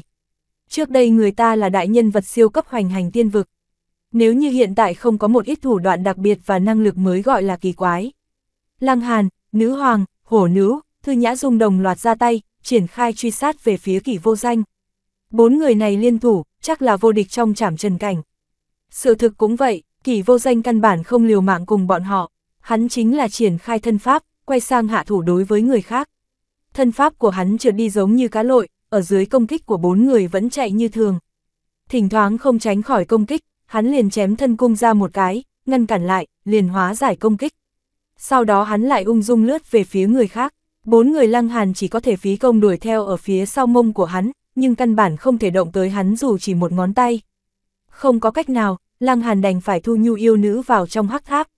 Trong lòng hắn lại à hoảng sợ, cùng là ngũ trảm, hình như chiến lực của kỳ vô danh cũng không có gì đặc biệt mạnh mẽ. Nhưng càn rỡ trêu chọc ở dưới tay của bốn đại đế giả đứng đầu. Đánh như vậy xuống không được, chỉ là phí công, lăng hàn công kích chậm lại, cẩn thận quan sát nhất cử nhất động của kỳ vô danh. Dần dần hắn có phát hiện, cảnh giới của kỳ vô danh quả thực giống như bọn họ. Nhưng nắm giữ của hắn đối với quy tắc lại đạt tới trình độ tinh tế nhập vi, quen thuộc mỗi một chi tiết biến hóa. Bởi vậy, thời điểm khi hắn bị công kích, thật giống như người nấu bếp mổ bò, đơn giản liền hóa giải được công kích. Nhưng mặc dù Lăng Hàn biết điểm ấy, lại không có biện pháp chút nào. Thậm chí hắn không có cách nào mô phỏng. Đây là thành lập ở trên phương diện nắm giữ đối với quy tắc vô tận, cần trải qua 5 tháng vô tận mới có khả năng đạt được. Lại giống như mỗi ngày quan sát đại đạo chân giải, nắm giữ quy tắc cơ sở đến trình độ thuần thục. Hắn không khỏi hoảng sợ, nhìn kỷ vô danh sinh mệnh chi hỏa. Thời gian đối phương sống có lẽ cũng chỉ có khoảng mấy vạn năm, không kém hơn mình là bao nhiêu. Nhưng ở trên phương diện nắm giữ quy tắc, sự tranh lệch của hai bên lại giống như là thiên nhưỡng giống nhau. Điều này làm cho hắn không có cách nào tiếp nhận nổi. Chẳng lẽ lại thật sự có yêu nghiệt nghịch thiên, chỉ cần sử dụng mấy năm là có thể đạt được độ cao mấy ức năm, mấy trăm ức năm người khác mới có khả năng đạt được. Phải biết rằng, hắn đã là cấp bậc yêu nghiệt, vẫn trở lại câu nói kia, nếu như Lăng Hàn biết tiền thân của kỷ vô danh chính là tiên vương cửu trọng, hẳn sẽ lập tức có thể hiểu ra. Tiên vương cửu trọng, có khả năng sống mấy vạn ức năm, thậm chí mấy kỷ nguyên, hắn nắm giữ quy tắc đến trình độ tinh tế nhập vi lại có gì kỳ quái. Người trên trận che én càng lúc càng ít, hơn nữa, không ai dám trốn, bởi vì chỉ cần ra khỏi phạm vi bảo vệ của bốn người lăng hàn, bọn họ sẽ bị kỷ vô danh dễ dàng đuổi theo, sau đó cắn nuốt. Nhưng lưu ở trong trận chiến, bốn người lăng hàn cũng có không cách nào hoàn toàn bảo vệ được bọn họ. Chỉ là nhanh chóng chết đi biến thành chờ chết, điều này phát sinh ở trên người các hoàng giả, khiến cho bọn họ vừa phiền muộn vừa đau xót căm phẫn. Bọn họ ra ngoài có người nào không phải là nhân vật nổi danh. Sau này không thành tiên vương cũng chắc chắn sẽ thành cường giả thăng nguyên cảnh. Hiện tại lại có thể rơi vào tình trạng như vậy. Thảm, cũng chỉ có đế giả giống như nghiêm tiên lộ, sơn quý đồng, lao tùng mới có thể có sống mạng. Bởi vì không bị Quảng Long Thiên quấy nhiễu, lấy thực lực của bọn họ dù thế nào cũng có thể cùng kỳ vô danh đánh được hai chiêu. Bọn họ liền có thể chống đỡ đến khi bốn người lăng hàn chạy tới cứu viện. Tiếp tục như vậy, chỉ sau nửa canh giờ, ngoại trừ kỳ vô danh ra, chỉ có 7 người còn sống. Tất cả đều là đế giả. Ngừng tay, kỳ vô danh thản nhiên nói, các ngươi không có khả năng làm gì được ta, ta tạm thời cũng không muốn lãng phí con át chủ bài ở trên người các ngươi. Không bằng mọi người cùng nhau ngồi xuống, nhìn đại đạo chân giải này. Người si nói mộng, thư nhã dung phẫn nộ chê bai một tiếng, công kích không ngừng. Ý chí chiến đấu của Lăng Hàn cũng hiên ngang, đối thủ như vậy quả thực khó có được, cùng kỳ vô danh giao đấu, hắn thu hoạch cực lớn.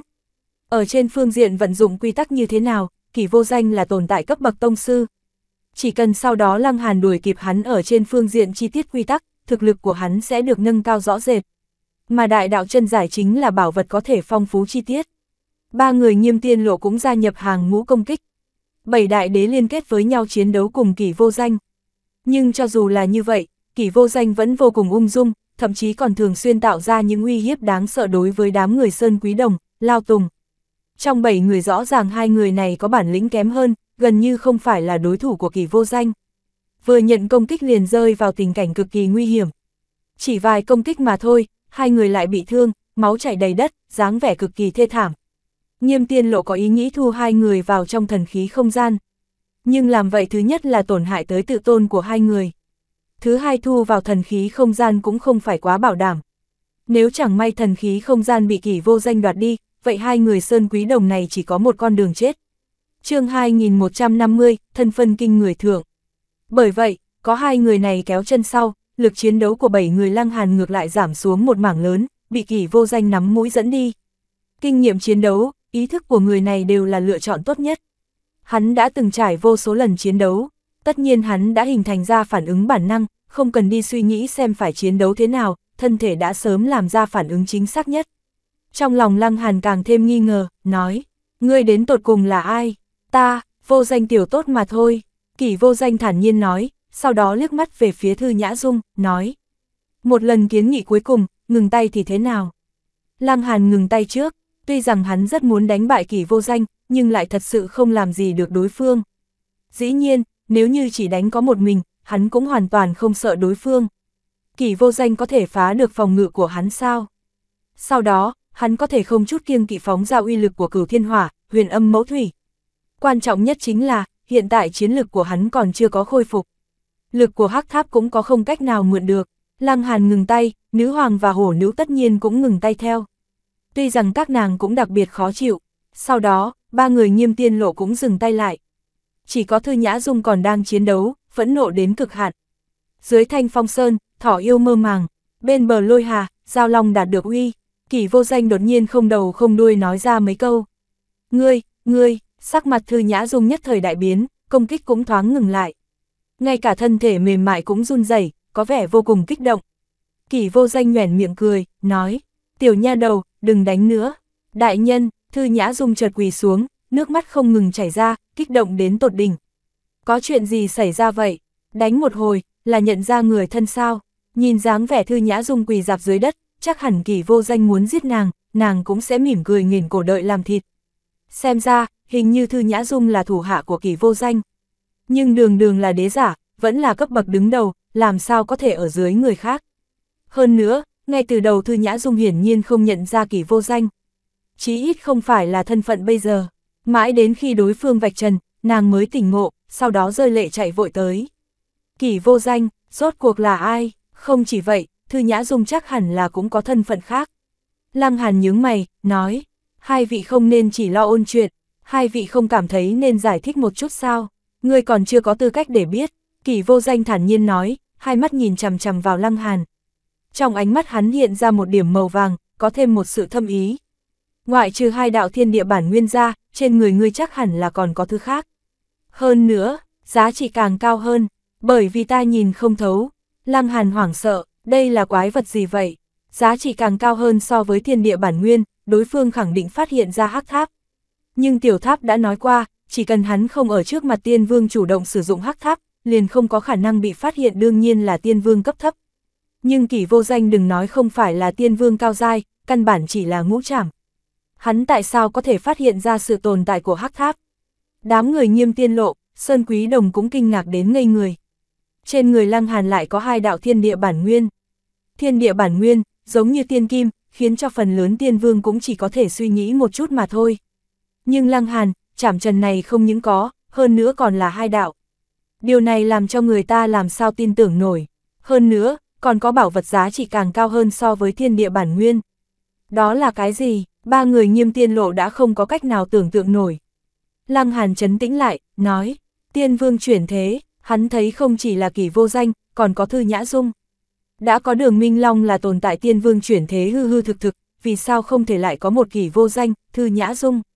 Kỳ vô danh lắc đầu, hiển nhiên không chịu nhiều lời. Hắn chỉ nhìn chằm chằm vào lăng hàn, ánh mắt càng lúc càng sáng ngời. Có thể làm cho ta cũng nhìn không thấu, bí bảo như vậy.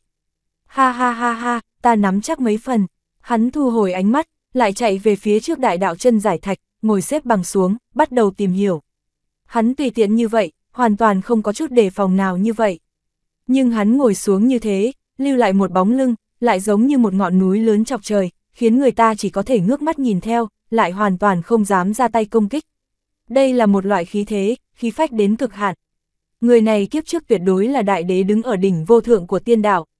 Trong lòng lăng hàn thầm nói, sau đó hắn liên hệ với tiểu tháp, người cảm thấy người này như thế nào? Lăng hàn hỏi, không tầm thường, đặc biệt không tầm thường. Tiểu tháp sử dụng giọng điệu thận trọng nói, đây không phải là chuyện thường thấy. Tiểu tháp luôn câu ơ ngạo luôn luôn thảnh thơi không lo lắng, lấy đả kích hắn làm vui. Hiện tại lộ ra thái độ cẩn thận như vậy đúng là hiếm thấy. Tiên thai của hắn đang phát triển theo phương hướng hoàn mỹ. Tiểu tháp lại nói, có ý gì? Lăng Hàn hỏi, tiên thai, chính là chảy xuôi máu tổ tiên tiên vương.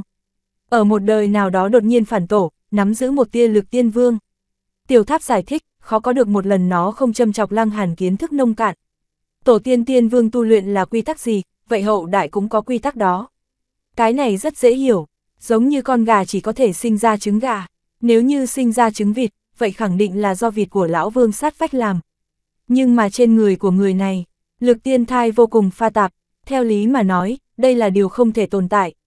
Tiểu tháp lộ ra vẻ nghi hoặc, nhưng ở trên người người này, các loại lực tiên thai đang dung hợp, tất cả hóa thành nền tảng của hắn. Hình như, tiên thai của hắn có thể nhận được tất cả đạo pháp tiên vương. Ở dưới trí tuệ của nhiều tiền nhân như vậy, căn cơ hùng hậu của hắn sẽ đạt được trình độ thế nào, người có thể tưởng tượng. Tại sao muốn người ở trước tiên vương thu thập càng nhiều thiên địa bản nguyên?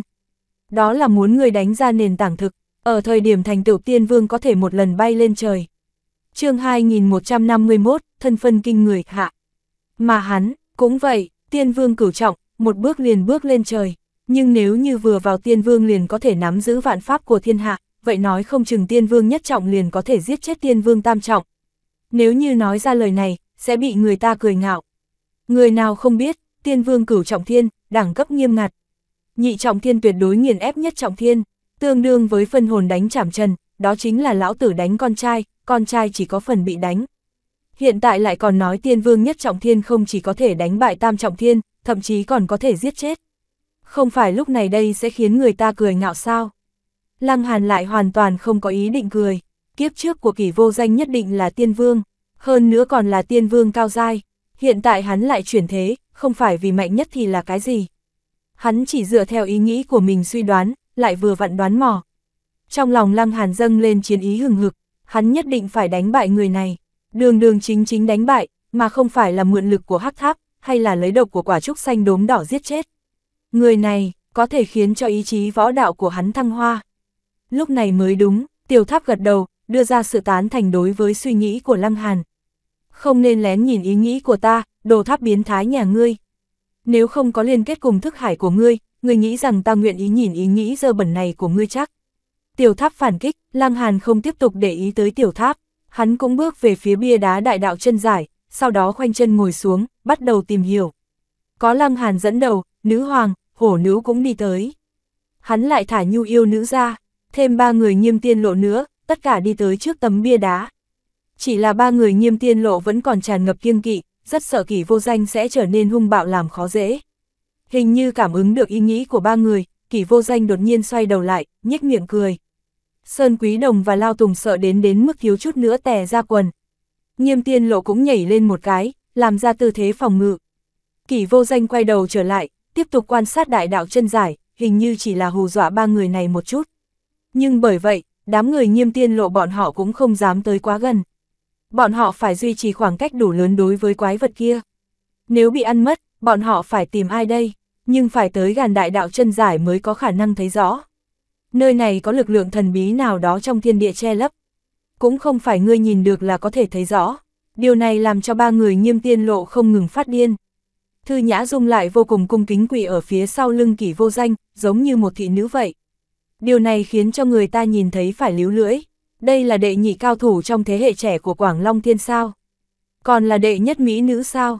Chỉ là ba ngày sau, kỷ vô danh liền đứng lên. Hắn liếc mắt nhìn về phía Lăng Hàn một cái, cố gắng bảo trọng, lần sau thời điểm gặp lại, ta sẽ thu tất cả cơ duyên trên người ngươi. Lăng Hàn mở mắt ra, đối chọi gay gắt nói, sau khi ta đánh bại ngươi, sẽ lưu lại cho ngươi một mạng. Dưới sự so sánh, hắn càng khí phách, tự tin hơn. Cho dù tha cho ngươi khỏi chết thì sẽ như thế nào? Bất kể ngươi đuổi theo như thế nào, cũng không thể là đối thủ của ta. Ha ha ha ha, kỷ vô danh cười to, nghênh ngang rời đi. Lăng Hàn thu hồi ánh mắt, nhìn về phía Thư Nhã Dung. Thư Nhã Dung cũng không cùng rời đi theo, chỉ dùng ánh mắt tiểu tụy cung kính tiến kỷ vô danh rời đi. Sau khi thân ảnh của đối phương biến mất, nàng mới từ tư thế quỷ biến thành tư thế ngồi, trên mặt cũng khôi phục lại vẻ tự tin và ung dung vốn có của một thiên kiêu tuyệt đỉnh nên có. Giờ phút này Thư Nhã Dung mới thật sự là Thư Nhã Dung. Thư cô nương, kỷ vô danh này đến tột cùng là ai? Lăng Hàn hỏi, Thư Nhã Dung chỉ cười nhạt, nói, ngươi chắc hẳn là đoán được, tất nhiên là một người vĩ đại hiếm thấy. Hiển nhiên, đối phương không chịu nói ra thân phận chân chính của kỷ vô danh kiếp trước. Lăng Hàn chỉ có thể đoán, tiên vương bát trọng, lúc nói chuyện, hắn chú ý biểu tình của Thư Nhã Dung. Chỉ thấy trong ánh mắt của đối phương thoáng lộ ra một vẻ khinh miệt, tuy rằng chỉ vừa lóe lên liền biến mất. Tiên vương cửu trọng, hắn khẳng định nói, Thư Nhã Dung từ chối cho ý kiến, cũng không có phản ứng lại Lăng Hàn, mà chăm chú nhìn ở trên tấm bia đá đại đạo chân giải. Tiên vương cửu trọng, ở trong lòng Lăng Hàn cũng khẳng định một câu, sau đó sóng to gió lớn dâng lên, tiên vương cửu trọng tại sao lại muốn chuyển thế? Hắn đã đứng ở trên đỉnh của thế gian, lẽ nào vì áp chế tiên vương cùng giai, đạt được sự vô địch chân chính, cho nên dứt khoát quyết tuyệt vứt bỏ rơi đạo quả vô thượng, trọng sinh tu luyện. Thành tựu tiên vương đều khó khăn nặng nề, huống gì là trở lại cửu trọng thiên, nếu chẳng may vẫn không đạt được độ cao ban đầu thì sao? Ngàn vạn lần đừng tưởng rằng đã từng là tiên vương, sẽ nhất định có thể một lần nữa tu luyện quay về tiên vương. Tu luyện vốn chính là việc làm nghịch thiên, chuyển thế trùng tu, sẽ bị thiên địa tận lực nhằm vào. Độ khó độ kiếp sẽ tăng lên, hơn nữa, ai có thể bảo đảm ở trên con đường trưởng thành sẽ không bị người khác ngắm bắn, nửa đường ngã xuống. Cho dù là lăng hàn, hắn tự hỏi cũng không có dũng khí tự chém đạo quả, làm lại một lần nữa. Đã đứng ở đỉnh phong, một đao này muốn chém xuống, cần nghị lực lớn tới mức nào. Tiểu tháp, tiên vương cửu trọng thực sự là đỉnh cao của tiên vực rồi sao? Lăng Hàn hỏi, hắn không tin kỳ vô danh bởi vì muốn trở thành mạnh nhất trong các tiên vương cửu trọng mà tự chém mình. Bởi vì thời gian dài rằng giặc, dù thế nào tiên vương cửu trọng cũng có thể chậm rãi bù đắp chỗ thiếu hụt ở trên con đường tu luyện, đạt đến mức hoàn mỹ. Trừ khi là muốn phát sinh biến động mang tính căn bản, trùng kích cảnh giới cao hơn. Như vậy chỉ có một khả năng, tiên vương cửu trọng không phải là đỉnh cao của tiên vực. Tiểu tháp trầm mặc một lát, mới nói, trên tiên vương cửu trọng, chính là phổ thiên tôn sư, tức là thiên tôn, thiên tôn, tim lăng hàn kích động nhảy lên một chút, hắn chợt nghĩ đến, tiểu tháp gọi chủ nhân trước của hắc tháp là thiên tôn. chương 2152, thiên tôn, trên tiên vương cửu trọng, đó là thiên tôn, phổ thiên tôn sư, sư chủ thiên tôn, đây là tồn tại thế nào? Lăng Hàn cảm thấy có chút miệng khô lưỡi nóng, tiên vương cửu trọng liền ngồi ngang hàng cùng với trời đất. Vượt lên trên đại đạo, lại điều khiển thiên địa, một ý niệm là hiển hóa được ở bất kỳ chỗ nào trên đời, tương đương với một tiên vương cửu trọng đến trái đất. Cho dù đọc tụng phong hiệu của hắn, cũng có thể khiến cho thiên địa cảm ứng. Tiểu tháp lo lắng nói, Lăng Hàn từ trong kích động dần dần bình tĩnh trở lại. Nhưng hai tay, hai chân vẫn cảm giác có chút run rẩy. Đứng đầu hắc tháp đó là thiên tôn, nhưng hắn, biến mất, đúng, lúc này tiểu tháp cũng không giấu giếm, mà là thoải mái thừa nhận. Thiên tôn cũng sẽ nằm xuống, đây chính là tồn tại còn vượt lên trên cả đại đạo. Thảo nào bất diệt thiên kinh lợi hại như vậy, có thể hấp dẫn cửu thiên hỏa, huyền âm mẫu thủy. Bởi vì đây là pháp còn vượt lên trên đại đạo, nhưng càng biết thiên tôn cường đại, Lăng Hàn lại càng không có cách nào hiểu được tại sao tồn tại như vậy còn có thể ngã xuống. Chính là muốn tự sát cũng không thể nào được đâu, tê thế gian đã không có lực lượng gì có thể xóa đi tồn tại như vậy. Ngươi bây giờ không cần nghĩ quá nhiều, cố gắng nâng cao tu vi, sau này, ngươi sẽ biết tất cả. Tiểu tháp nói, Lăng Hàn gật đầu, miệng của tiểu tháp rất kín, nếu như nó không muốn nói, ép thế nào cũng chỉ là vô dụng. Hiển nhiên, kỷ vô danh tiêu hủy đạo quả, vì để trùng kích vị trí thiên tôn, bước trên đỉnh phong thực sự của thế gian. Dũng khí và quyết đoán như vậy, đều vô cùng kinh người. Thảo nào Thư Nhã Dung đối với người này lại sùng bái như vậy. Chờ một chút, vậy vì sao Thư Nhã Dung cũng muốn chuyển thế? Còn có đường Minh Long nữa, lẽ nào người người đều muốn muốn trùng kích tới vị trí thiên tôn? Lăng Hàn giải ra được một nghi ngờ, lại có nghi ngờ mới, khiến cho hắn không ngừng phát điên. Thôi đi, không nghĩ nữa. Hắn đặt lực chú ý tới trên tấm bia đá đại đạo chân giải, dụng tâm nghiền ngẫm. Kỷ vô danh ở trên phương diện nắm giữ quy tắc cơ sở hiển nhiên đạt tới trình độ kinh người. Bởi vậy hắn chỉ dùng thời gian 3 ngày đã hoàn toàn tiêu hóa đại đạo chân giải này. Nhưng Lăng Hàn không làm được, hắn là trảm trần chân chính, không có kiếp trước thậm chí có mấy kỷ nguyên quy tắc để đặt nền tảng. Hắn không có khả năng so sánh được cùng kỷ vô danh. Sau tròn nửa năm, Thư Nhã Dung cũng đứng lên, nàng liếc mắt nhìn Lăng Hàn, biểu tình trên mặt có chút biến hóa, không ngừng thay đổi. Nhưng cuối cùng nàng không làm cái gì, đi nhanh xuống núi. Sau khi nàng xoay người, Lăng Hàn cũng mở hai mắt ra, khóe miệng cong lên, lộ ra một nụ cười nhạt. Vừa rồi, nếu như Thư Nhã Dung ra tay với hắn, vậy hắn cũng sẽ không khách khí, sẽ dùng hết toàn lực chém chết đối phương. Hắn một lần nữa đặt lực chú ý ở trên phương diện đại đạo chân giải, không ngừng làm chắc cơ sở quy tắc giết chóc. Tròn 13 năm trôi qua, lúc này Lăng Hàn mới kết thúc trạng thái ngồi thiền. Hắn cũng không hoàn toàn hiểu rõ trang đại đạo chân giải này. Nhưng cuối cùng hắn đã ghi nhớ kỹ mỗi một chữ ở trong thức hải. Cho dù bây giờ muốn hắn vẽ ra, đó tuyệt là chuyện không thể nào làm được. Chỉ vừa ngầm có ý nghĩ, không nói ra, thiên địa cũng không đồng ý. Hắn đã từng nghĩ sẽ đào tấm bia đá lên, thu vào bên trong hắc tháp. Nhưng hắn lại phát hiện hắn căn bản không có cách nào làm được điều này. Tấm bia đá cùng toàn bộ ngọn núi núi liền thành một khối. Muốn thu phải thu tất cả, nếu như ngọn núi này là núi đá cấu trúc bình thường, vậy Lăng Hàn sẽ không để ý tới, vẫy tay là có thể lấy đi. Nhưng mấu chốt là ở nơi đây quá đặc biệt, hoàn toàn không thể nào làm được điểm này. Cho nên, hắn dùng 13 năm mới ghi nhớ được ký hiệu đại đạo. Thấy hổ nữ, nữ hoàng, như yêu nữ còn đang trong trạng thái ngồi thiền, lang Hàn liền tiến vào trong hắc tháp, ở dưới cây luân hồi bắt đầu thật sự tìm hiểu. Từ điều này cũng có thể thấy được, hổ nữ không phải là tiên vương chuyển thế. Bằng không có nền tảng kiếp trước, nàng cần gì phải tốn khoảng thời gian lâu như vậy mới có khả năng nhớ được trang đại đạo chân giải này. Dưới cây luân hồi, thời gian hơn 70 vạn năm ngộ đạo thoáng một cái đã trôi qua. Thời gian hiện thực cũng đã qua 20 năm, Lăng Hàn ra khỏi hắc tháp, hắn cuối cùng đã hiểu được sơ bộ đại đạo chân giải này. Chỉ là sơ bộ, không phải là hoàn toàn nắm giữ. Nhưng ba người hổ nữ còn đang cứng rắn ghi nhớ đại đạo chân giải.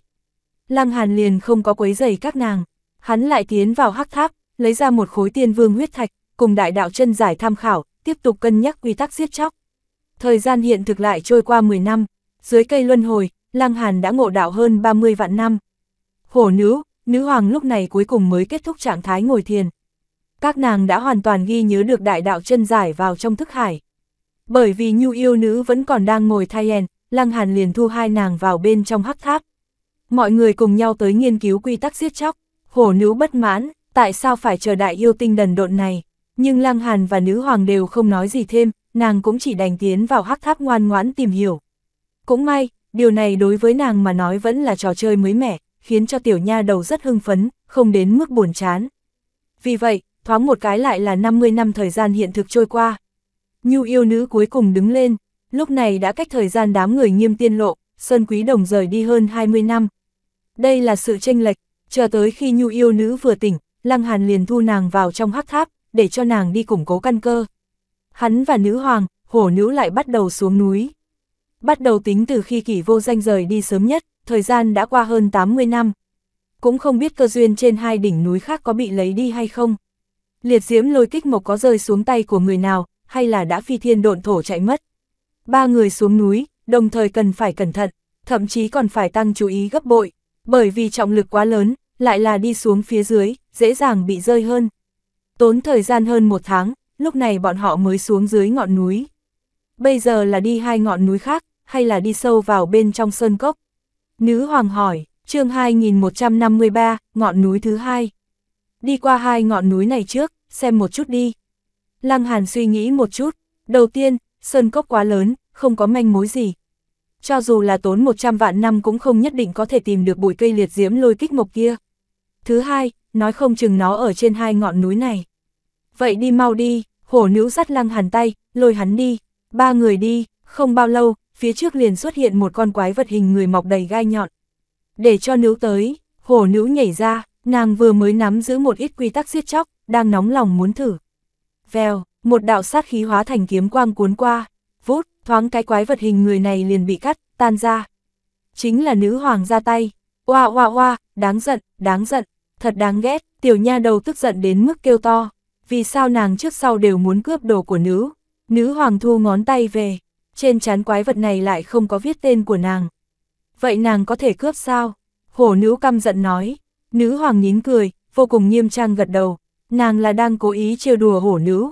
Quả nhiên, hổ nữ bị trêu đến nhảy lên, giống như một con khỉ. Lăng Hàn không khỏi mỉm cười, luận về thực lực đúng là hổ nữ tốt hơn, nhưng nói đến đấu trí đấu dũng khí, vậy tuyệt đối là nữ hoàng vượt xa.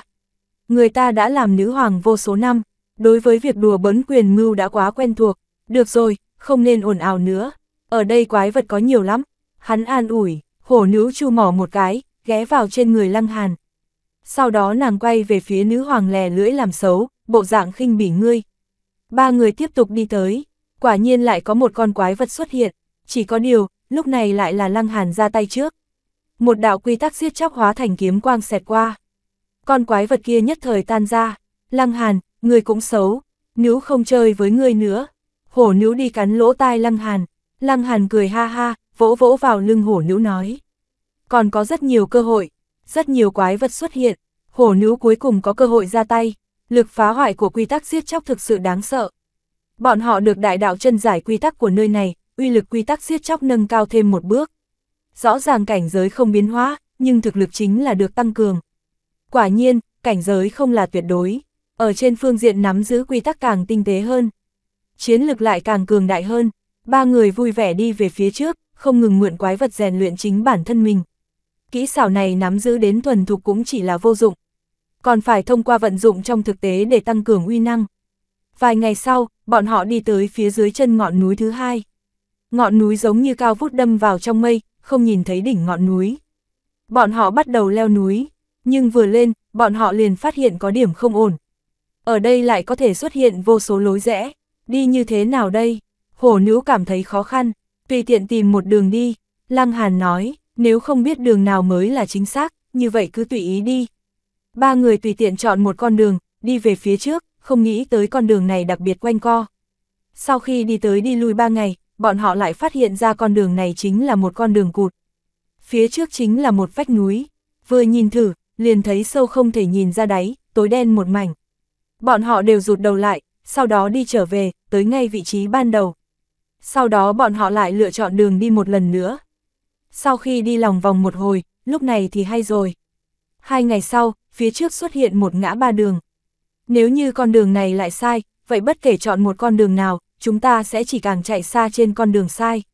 Mù quáng mà đi, vậy cả đời cũng không thể đi ra khỏi nơi này. Đây cũng là một trận pháp, ba người lại lui về, gặp phải trận pháp, có thử số nhiều hơn nữa cũng không có tác dụng. Chỉ có thể càng bị dẫn vào lối cụt, muốn xông qua, trước hết phải phá giải, hoặc là nắm giữ trận pháp này. Bọn họ lui xuống dưới ngọn núi, bắt đầu ở phía dưới quan sát. Hổ nữ không thích động não nhất, rất nhanh nàng liền ngáp lớn, ghé vào trên lưng lăng hàn ngủ. Nữ hoàng lại cùng lăng hàn triển khai thảo luận, xác minh lẫn nhau. Kết hợp trí tuệ của hai người trung quy vẫn tốt hơn so với một người. Bọn họ không ngừng tiến vào hắc tháp, có cây luân hồi giúp đỡ, bọn họ nắm được ưu thế cực lớn. Chỉ là ba ngày sau, bọn họ đã có phương án sơ bộ. Dưới cây luân hồi, bọn họ đã dùng hết gần 300 năm. Ba người tiếp tục leo núi, lựa chọn một con đường lên. Một đường đi về phía trước, sau một ngày, phía trước xuất hiện lối rẽ. Bọn họ lựa chọn con đường phía bên trái, lại là một ngày sau, phía trước xuất hiện một ngã ba. Bọn họ chọn đường ở giữa, sau khi lại đi một ngày, phía trước xuất hiện một ngã tư. Cứ như vậy, lối đi càng lúc càng nhiều, sau đó đã đạt hơn mấy trăm nghìn đường, Lăng Hàn và Nữ Hoàng lại không kinh sợ mà còn lấy làm mừng. Điều này phù hợp với suy đoán của bọn họ, để tìm được một con đường chính xác. Lại hơn 10 ngày sau, phía trước bọn họ xuất hiện bóng người. Là nghiêm tiên lộ, nghiêm huynh, Lăng Hàn kêu lên, Lăng huynh, nghiêm tiên lộ quay đầu lại, các người cũng tới đây sao? Hắn cũng không biết ba người Lăng Hàn chỉ dùng thời gian một năm lại vượt qua hắn. Bằng không hắn nhất định sẽ khiếp sợ mà không phải là kinh ngạc. Bởi vì đầu tiên hắn đã tốn nhiều năm thời gian đi lòng vòng, cuối cùng mới tìm ra quy luật nhất định. Nhưng cho dù chạy tới đây, mỗi lần gặp lối dễ hắn vẫn phải suy tính nhiều lần, xác định được một con đường là chính xác. Lăng Hàn gật đầu, người đã đi trước 20 năm, vậy quảng đường còn lại cũng đủ dài. Bọn họ chưa chắc không thể tranh một chuyến đầu tiên, dù sao nắm giữ cây luân hồi bọn họ gặp phải loại tình huống này vẫn có ưu thế. Rất nhanh, bọn họ gặp phải ngã ba mới, ba người Lăng Hàn không chút do dự lại lựa chọn một con đường. Trong lòng Lăng Hàn và Nữ Hoàng đã có dự tính trước mọi việc. Hổ nữ lại căn bản không chịu suy nghĩ, cứ đi theo là được. Lăng huynh, các ngươi chẳng lẽ không cần tính toán một chút sao? Đầu tiên nghiêm tiên lộ dừng chân lại một chút, sau đó mới chạy nhanh tới. a Lăng Hàn sờ mũi một cái, không phải đã sớm suy tính xong rồi sao? Nhìn thấy vẻ mặt này của Lăng Hàn, nghiêm tiên lộ đột nhiên tỉnh ngộ, kinh ngạc kêu lên lên. chương 2154, Diệt Thiên Cửu Kiếm. Các ngươi chẳng lẽ một đường đi tới, đều nghĩ cũng không cần nghĩ, đã sớm biết nên đi như thế nào. Lẽ nào ngươi không phải vậy sao? Lăng Hàn hỏi ngược, trời ạ, các ngươi đều là quái vật, cả nhà đều là quái vật. Trong lòng nghiêm tiên lộ phiền muộn vô cùng, hắn cảm thấy mình có thể đi trên con đường chính xác đã thật sự không đơn giản. Nhưng càng đi về sau, cần lượng suy tính lại càng lớn, cần thời gian cũng càng nhiều. Đi qua một đoạn lối rẽ, cần một ngày dùng để có thể suy tính. Nhưng lựa chọn nên đi một con đường như thế nào, lại cần tới nửa năm thậm chí một năm. Lăng huynh, ta đi cùng với các ngươi, ở trước mặt Lăng Hàn, nghiêm tiên lộ không thừa nhận cũng không được. Thế gian còn có tồn tại càng yêu nghiệt hơn so với hắn. Thiên phú võ đạo cao hơn hắn, chiến lực mạnh hơn hắn, ở trên đan đạo cũng có tiềm lực trở thành đại sư. Hiện tại ở trên trận đạo cũng bỏ qua hắn một mảng lớn. Thế gian làm sao có thể có người toàn năng như vậy? Có Lăng Hàn và Nữ Hoàng dẫn dắt, bọn họ gặp phải đầu ngã ba cũng không dừng lại. Điều này tất nhiên khiến cho tốc độ của bọn họ tăng lên rất nhiều. Lại là qua hai tháng, phía trước bọn họ lại xuất hiện bóng người. Nhưng lần này, số lượng người rất nhiều, Thư Nhã Dung cùng với những người của Quảng Long Thiên còn sống sót, ví dụ như đám huynh muội liễu kiệt. Phát hiện bốn người lăng hàn đuổi qua, đôi mắt đẹp của Thư Nhã Dung không khỏi hơi co lại, là có chút giật mình.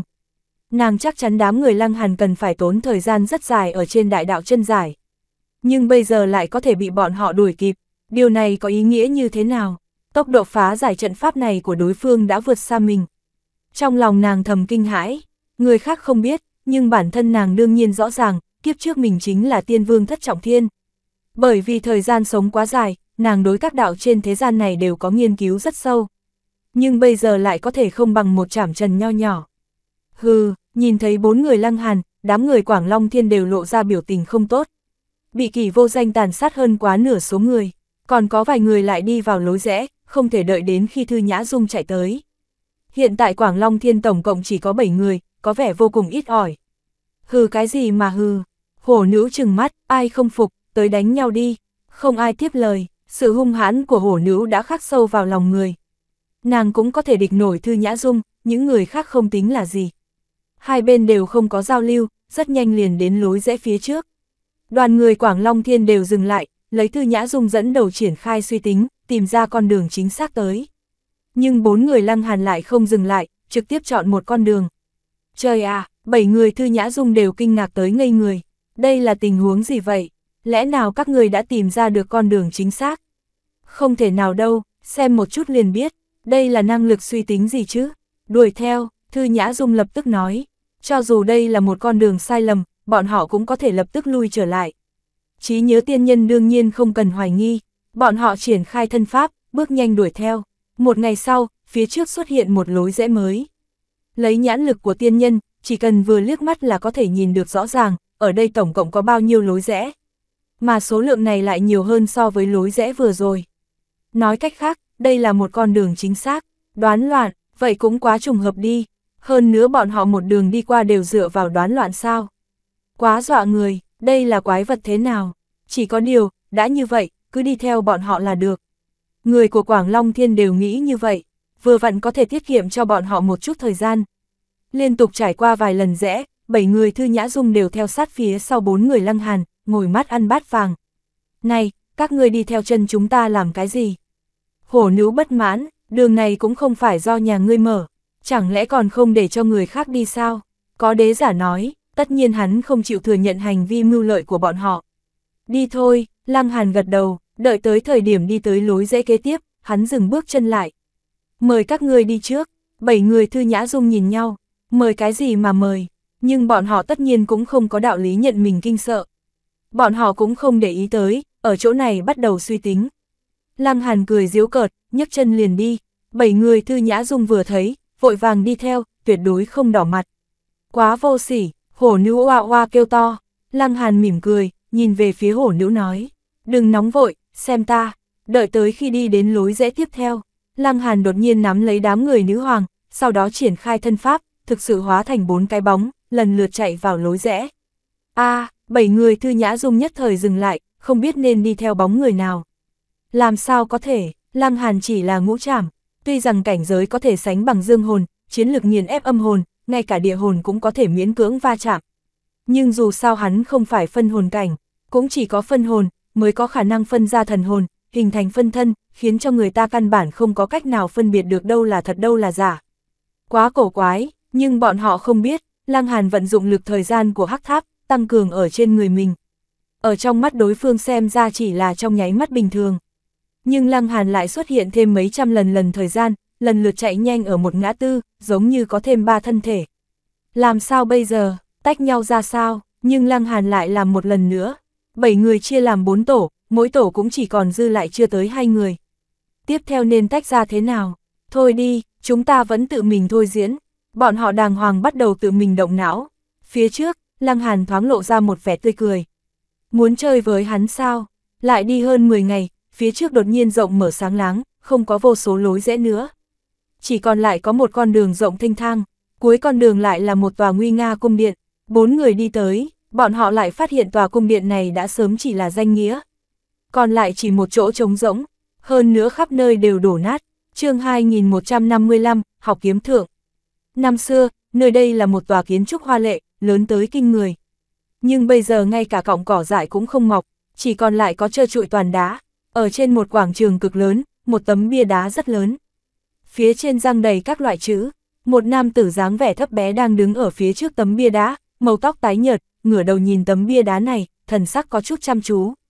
Chỉ có điều, khi bốn người lăng hàn xuất hiện, nam tử này lập tức quay người nhìn sang. Đây không phải là đường Minh Long thì là người nào, hắn không có đi ngọn núi bên trái, mà là đi thẳng tới đây. Nếu như Lăng Hàn biết hắn đã từng va chạm với kỷ vô danh một hồi, sẽ đoán được đối phương không có đi ngọn núi phía trái là bởi vì có liên quan đến kỷ vô danh. Nhưng bây giờ hắn lại cảm thấy có chút kỳ quái, vì sao đối phương tới đây trước, phải biết rằng từ lối vào tiến tới, khoảng cách với ngọn núi phái trái thật ra rất gần. Tuy rằng ngọn núi nằm ở giữa sơn cốc, nhưng không phải thông đạo tiến thẳng vào sơn cốc. Thật sự không ngờ được, các ngươi lại là người đầu tiên đi tới nơi này. Đường Minh Long cảm thấy vô cùng xúc động, hắn biết rất rõ địa vị của Thư Nhã Dung, một tiên vương chuyển thế lại còn không sánh bằng mấy hậu bối. Điều này khiến cho hắn rất ngạc nhiên, Lăng Hàn cười nhạt, cũng không để ý tới. Người không phạm hắn, hắn cũng lười phạm người. Hắn đi tới, sau đó nhìn về phía tấm bia đá. Diệt thiên cửu kiếm, lập tức, trên tấm bia đá có bốn chữ lớn vọt ra, hóa thành bốn đạo ánh sáng. Không, bốn đạo kiếm khí chém về phía Lăng Hàn. ầm, um, Lăng Hàn giơ cánh tay lên ngăn cản, chít, toàn thân hắn bị kiếm khí đẩy lui về phía nhau. Hắn nhảy lên mấy cái, liền lùi lại mấy trăm bước sau mới ngừng lại được. Nhìn từ chỗ này, chữ trên tấm bia đá nhất thời trở nên mơ hồ, chỉ có thể nhận ra được chữ viết ở trên đó. Diệt thiên cửu kiếm, Lăng Hàn đứng vững, thoáng lộ ra một vẻ tươi cười. Có nghĩa là không thể đứng ở trước mặt, liền không có tư cách tu luyện bộ kiếm pháp này sao? Nữ hoàng, hổ nữ, nghiêm tiên lộ cũng lộ ra vẻ nóng lòng muốn thử. Thiên kiêu bao giờ cũng không chịu thua. Lăng Hàn thả nhu yêu nữ ra, năm người đều bước về phía tấm bia đá kia. Ong, kiếm quang lại tới. Lần này Lăng Hàn đã có sự chuẩn bị. Hắn lập tức vung tay phải lên, đánh về phía những kiếm quang kia, mà không phải là bị động phòng ngự. Có tấm gương của Lăng Hàn đi trước, đám người nữ hoàng bọn họ cũng có chuẩn bị, giơ tay lên liền đánh ra tiên thuật rất mạnh. ầm ầm ầm ầm, một mảnh ánh sáng hoa lệ xẹt qua, vòng công kích đầu tiên của tấm bia đá đánh tới. May là tất cả mọi người có sự chuẩn bị, nhưng vẫn bị bổ cho phải lui ra cực xa. Không có một người nào có thể không lùi mà tiến tới. Kiếm quang này đặc biệt sắc bén, chỉ có điều, cùng là bị ép phải lui lại, nhưng số bước chân mỗi người lui ra phía sau cũng không giống nhau. Giống như Lăng Hàn lui ra phía sau ít nhất, lần này là hơn 200 bước, thứ hai là hổ nữ, lui lại nhiều hơn so với hắn hơn 10 bước. Tiếp nữa lại là nữ hoàng, lui lại thêm 7 bước. Sau đó là nghiêm tiên lộ, hắn lùi lại phía sau 20 mấy bước, cuối cùng là nhu yêu nữ, lùi tụt về phía sau hơn 600 bước. Bởi vì Lăng Hàn đã đón đỡ một lần, mới có thể lui lại ít nhất. Hắn thì không tính, nhưng thực lực mọi người vừa xem lìa hiểu ngay. Trở lại, hổ nữ hưng phấn kêu lên, một bước xa vọt ra ngoài. Đám người Lăng Hàn cũng xông về phía trước công kích, ầm ầm ầm, sau mỗi lần công kích, tất cả mọi người lại bị ép lui. Nhưng số bước bị ép lui lại của Lăng Hàn, hổ nữ, nữ hoàng càng lúc càng ít. Cũng có nghĩa là sau mỗi lần bọn họ công kích, luôn có thể tiến thêm vài bước so với trước. Nghiêm tiên lộ và nhu yêu nữ cũng tiến về phía trước, nhưng mức độ chậm hơn. Nhất là nhu yêu nữ, chậm thái quá. Đường Minh Long nhìn thấy cảnh tượng đó, không khỏi đưa tay xoa tròm dâu. Gương mặt đầy nếp nhăn cũng giãn ra, hình như đang vui mừng vô cùng. Không uổng công lão phu khổ đấu một phen, tiêu hao hết vài lá bài tẩy. Sau khi những người tuổi trẻ này trưởng thành lên, tuyệt đối chính là chủ lực để chống lại chiều hắc ám. Trong lòng hắn thầm nói, đột nhiên hắn đưa tay ấn vào ngực, thân hình run lên, sắc mặt lập tức trở nên đặc biệt tái nhợt. Chỉ thấy bên trong lại có máu tươi chảy ra, cho dù chuyển thế trùng tu, tất cả mọi người là ngũ trảm, nhưng lão phu cùng vị nào đó tranh lệch vẫn là lớn như vậy. Không nghĩ tới, lão phu không thật sự chết ở trong trận chiến chống lại chiều hắc ám, lại phải chết ở chỗ này. Cũng tốt, thân về cố hương, lão phu cũng có thể mỉm cười. Hơn nữa, chỉ cần những người này có thể trưởng thành lên, lão phu cho dù bỏ mạng thì như thế nào. Ở chỗ kia chiến đấu vô số năm, không phải là vì bảo vệ mảnh đất quê hương sao. Hắn quay người đi, không để cho đám người lăng hàn thấy được tình cảnh bi thảm của hắn hiện tại. Thân hình bốc lên, rất nhanh lại biến mất không thấy bóng dáng. Giống như lời kỳ vô danh đã nói lúc trước, đường Minh Long không có khả năng giết được hắn. Hắn muốn giết đường Minh Long, chỉ cần tốn một con át chủ bài. Nhưng hiển nhiên kỳ vô danh cũng tính sai, hắn tiêu hết cũng không chỉ là một con át chủ bài. Đây cũng nguyên nhân trước đó, kỳ vô danh biết rất rõ ràng Lăng Hàn mang theo dị bảo trên người nhưng không có ra tay. Con át chủ bài của hắn đã tiêu hao quá nhiều, không có khả năng lấy ra bắt Lăng Hàn. Mà không phải là hắn thủ hạ lưu tình, Lăng Hàn nhìn lướt qua, không khỏi kinh ngạc, đường Minh Long lại đi như thế. Hắn cũng không biết trong lúc đó phát sinh chuyện gì, hắn chỉ cho rằng đường Minh Long tới sớm, đã học môn kiếm pháp này, nên cũng không có để ở trong lòng. Người khác không trêu chọc đến hắn, hắn cũng không có hứng thú đi trêu chọc người khác. Lực chú ý một lần nữa được đặt ở trên tấm bia đá. Lăng Hàn đi nhanh đi tới, veo veo veo, kiếm quang lại kéo tới. Lăng Hàn hừ một tiếng, vươn tay phải ra, hắn lấy ra quy tắc giết chóc đối đầu, ầm ầm ầm ầm ầm, trong sự đối kháng kịch liệt, chân hắn lui về phía sau. Nhưng chỉ lui lại 7 bước, Lăng Hàn liền đứng vững lại. Sau đó hắn cường thế phản kích, qua bước 1, hắn kiên định tiến về phía trước, hắn đã có thể hoàn toàn đối kháng được với uy lực của Diệt Thiên Cửu Kiếm. Ít nhất là uy lực của bốn chữ này. chương 2156, học kiếm hạ. Bởi vì kiếm pháp này là do quy tắc giết chóc làm cơ sở sáng lập ra, uy lực vô cùng cường đại. Trong lòng Lăng Hàn vui mừng, bởi vì hiện tại hắn nắm giữ rất nhiều quy tắc giết chóc, lại đạt được này một khối đại đạo chân giải. Sau này hắn có thể nắm giữ quy tắc giết chóc đến trình độ tinh tế nhập vi. Như vậy phối hợp với diệt thiên cửu kiếm, đủ để hoàn toàn phóng ra uy lực của quy tắc giết chóc. Hơn nữa, Lăng Hàn có lĩnh hội nho nhỏ, chính là bốn chữ diệt thiên cửu kiếm này cũng làm cho hắn thưởng thức được sự cường đại của kiếm ý. Và đối với vận dụng quy tắc giết chóc, hắn mơ hồ cảm thấy mình cũng có thể chém ra kiếm pháp như vậy. Trong lòng hắn nhất thời hiểu ra, chữ trên tấm bia đá này cũng không phải để người ta đi lĩnh ngộ, mà là trực tiếp hóa thành công kích cùng người đối chiến, khiến người ta ở trong chiến đấu lĩnh ngộ diệt thiên cửu kiếm. Nếu như thực lực ngươi chưa đủ, trước sau chỉ có thể qua lại ở khu vực bên ngoài, như vậy có thể phỏng đoán cũng chỉ có bốn chữ diệt thiên cửu kiếm. Có ý tứ, vậy đi thử một chút xem kiếm pháp tiếp theo lại cường đại tới mức nào. Lăng Hàn tiến lên trước một bước, lần này, chữ ở hàng thứ hai trên tấm bia đá phát ra ánh sáng. Vèo vèo vèo, chúng hóa thành bảy thanh sát kiếm bắn tới, mỗi thanh đều tràn ngập sát khí, giống như uống máu tươi. Hắn ra tay nghênh đón, hắn cũng không có dùng lực của hắc tháp, mà lấy thực lực của bản thân đối đầu. Len keng len keng, những tiếng dễ vỡ vang lên không ngừng. Trong lúc đối đầu, kiếm quang phóng lên cao, xé ra mây mù. Hình như có thể công kích chấn động cửu trọng thiên, Lăng Hàn lại bị ép lui lại. Đây chỉ là chữ ở hàng thứ hai, nhưng uy lực của chúng lại tăng lên gấp mấy lần, khiến cho hắn vì đánh giá sai, bị chém lui trở về. Ha ha, trở lại, trong lòng Lăng Hàn thầm nói, hắn lại đi tới, ầm, toàn thân hắn bốc cháy lên hỏa diễm, đã phát động lực tiên thai, tăng chiến lực lên thêm một mảng lớn. Con, sát kiếm run rẩy, giống như bị chọc giận, điên cuồng chém vô cùng vô tận. Lăng Hàn đối đầu, cửu thiên hỏa quấn quanh thân, hắn giống như một vị hỏa thần bất diệt, trong một quyền đánh ra, có thể khiến toàn bộ thiên địa đều bốc cháy lên, uy lực cường đại. Hắn mạnh, diệt thiên cửu kiếm cũng không yếu, cùng hắn triển khai đối đầu kịch liệt. Ầm, ầm, ầm, đây là một loại chiến đấu khác, trong khoảng thời gian ngắn cũng nhìn không ra ai mạnh ai yếu. Chỉ có ánh sáng đáng sợ phóng lên cao, không ngừng nổ mạnh. Ký hiệu đại đạo không ngừng hình thành lại nổ tung, lực phá hoại kinh người. Cuộc chiến đấu diễn ra gần 7 ngày, Lăng Hàn cuối cùng chiếm được thượng phong, đi từng bước một về phía trước, sát kiếm bị ép trở lại. Mà khi hắn đi tới đến một cực hạn nào đó, hàng chữ thứ hai phai nhạt xuống. nhưng hàng chữ thứ ba lại không sáng lên, giống như tấm bia đá đã mất tác dụng. Tình huống gì vậy, trước đây tiên vương đại chiến, cũng đã chém hỏng mất tấm bia đá truyền thừa diệt thiên cửu kiếm này sao? Lăng Hàn nâng cầm suy nghĩ một hồi, hắn lại nhìn đám người hổ nữ. Hiện tại hổ nữ và nữ hoàng cũng tiến vào khu vực thứ hai, đang đối đầu với sát kiếm ở hàng thứ hai. Một người dùng ra bí pháp côn bằng, một người lại hiện ra cả chín phân thân, nghiêm tiên lộ còn đang ở trong khu vực thứ nhất, nhưng đã sắp xông qua. Nhu yêu nữ lại kém xa, gần như chỉ là đang dậm chân tại chỗ mà thôi. a à, Lăng Hàn đột nhiên có một ý nghĩ, hắn lui trở lại, sau đó sẽ đi tới. Vèo vèo vèo, sát kiếm hiện lên, chém về phía hắn. Sát khí giống như sôi trào. Hắn lấy ra tiên ma kiếm, bắt đầu vận dụng kiếm pháp học được trước đó, cũng chính là thức thứ nhất của diệt thiên cửu kiếm. Có biến hóa, Lăng Hàn lập tức phát hiện ra. Tuy rằng uy lực sát kiếm vẫn rất lớn, nhưng thật giống như thoáng cái đã mất đi sự thù địch đối với hắn, trở nên ôn nhu hơn một ít. Lăng Hàn nhất thời bừng tỉnh, tấm bia đá này quả thực đưa đến tác dụng truyền thừa. Mục đích chính là dạy người diệt thiên cửu kiếm, nhưng vì cái gì sau khi xông qua khu vực tầng thứ hai, chữ ở hàng thứ ba không sáng lên. Bởi vì người ta dạy chính là diệt thiên cửu kiếm, người không muốn sử dụng diệt thiên cửu kiếm tới đối đầu là có ý tứ gì.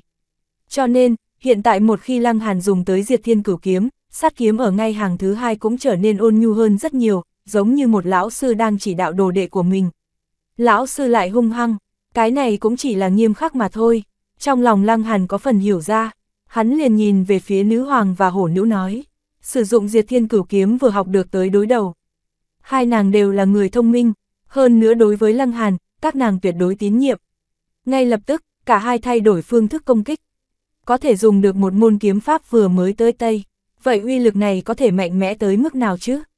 Cho dù sát kiếm trở nên ôn nhu hơn một ít, vẫn liên tục chém cho ba người Lăng Hàn liên tục tháo chạy. Lăng Hàn bất động không sợ hãi, chỉ là ở trong đầu hắn liên tục hiện ra thức thứ nhất của diệt thiên cửu kiếm. Trong tay hắn cầm tiên ma kiếm cũng vận dụng ra, trong khi đang từng bước bị ép lui, nắm giữ của hắn đối với diệt thiên cửu kiếm cũng càng lúc càng thuần thục. Thậm chí, có đôi khi hắn còn có thể lui ra ngoài, tiến vào hắc tháp, ở dưới cây luân hồi tìm hiểu một hồi mới trở ra. Hắn như vậy, nữ hoàng và hổ nữ cũng vậy, lại sau 7 ngày, bọn họ gần như đồng thời thông qua khu vực tầng thứ hai. Ong ong ong, ký hiệu ở hàng thứ ba sáng lên, đan vào nhau thành hình ba người.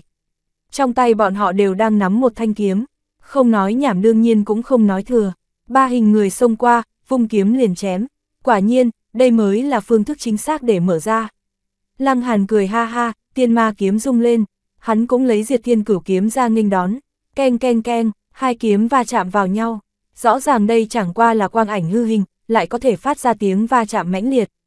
Đây là đại đạo va chạm, kinh thiên động địa, cuộc đối đầu vô cùng được kịch liệt, ba người lăng hàn vẫn giống như trước đó, đánh một chút dừng một chút, thường xuyên tiến vào bên trong hắc tháp tìm hiểu một chút.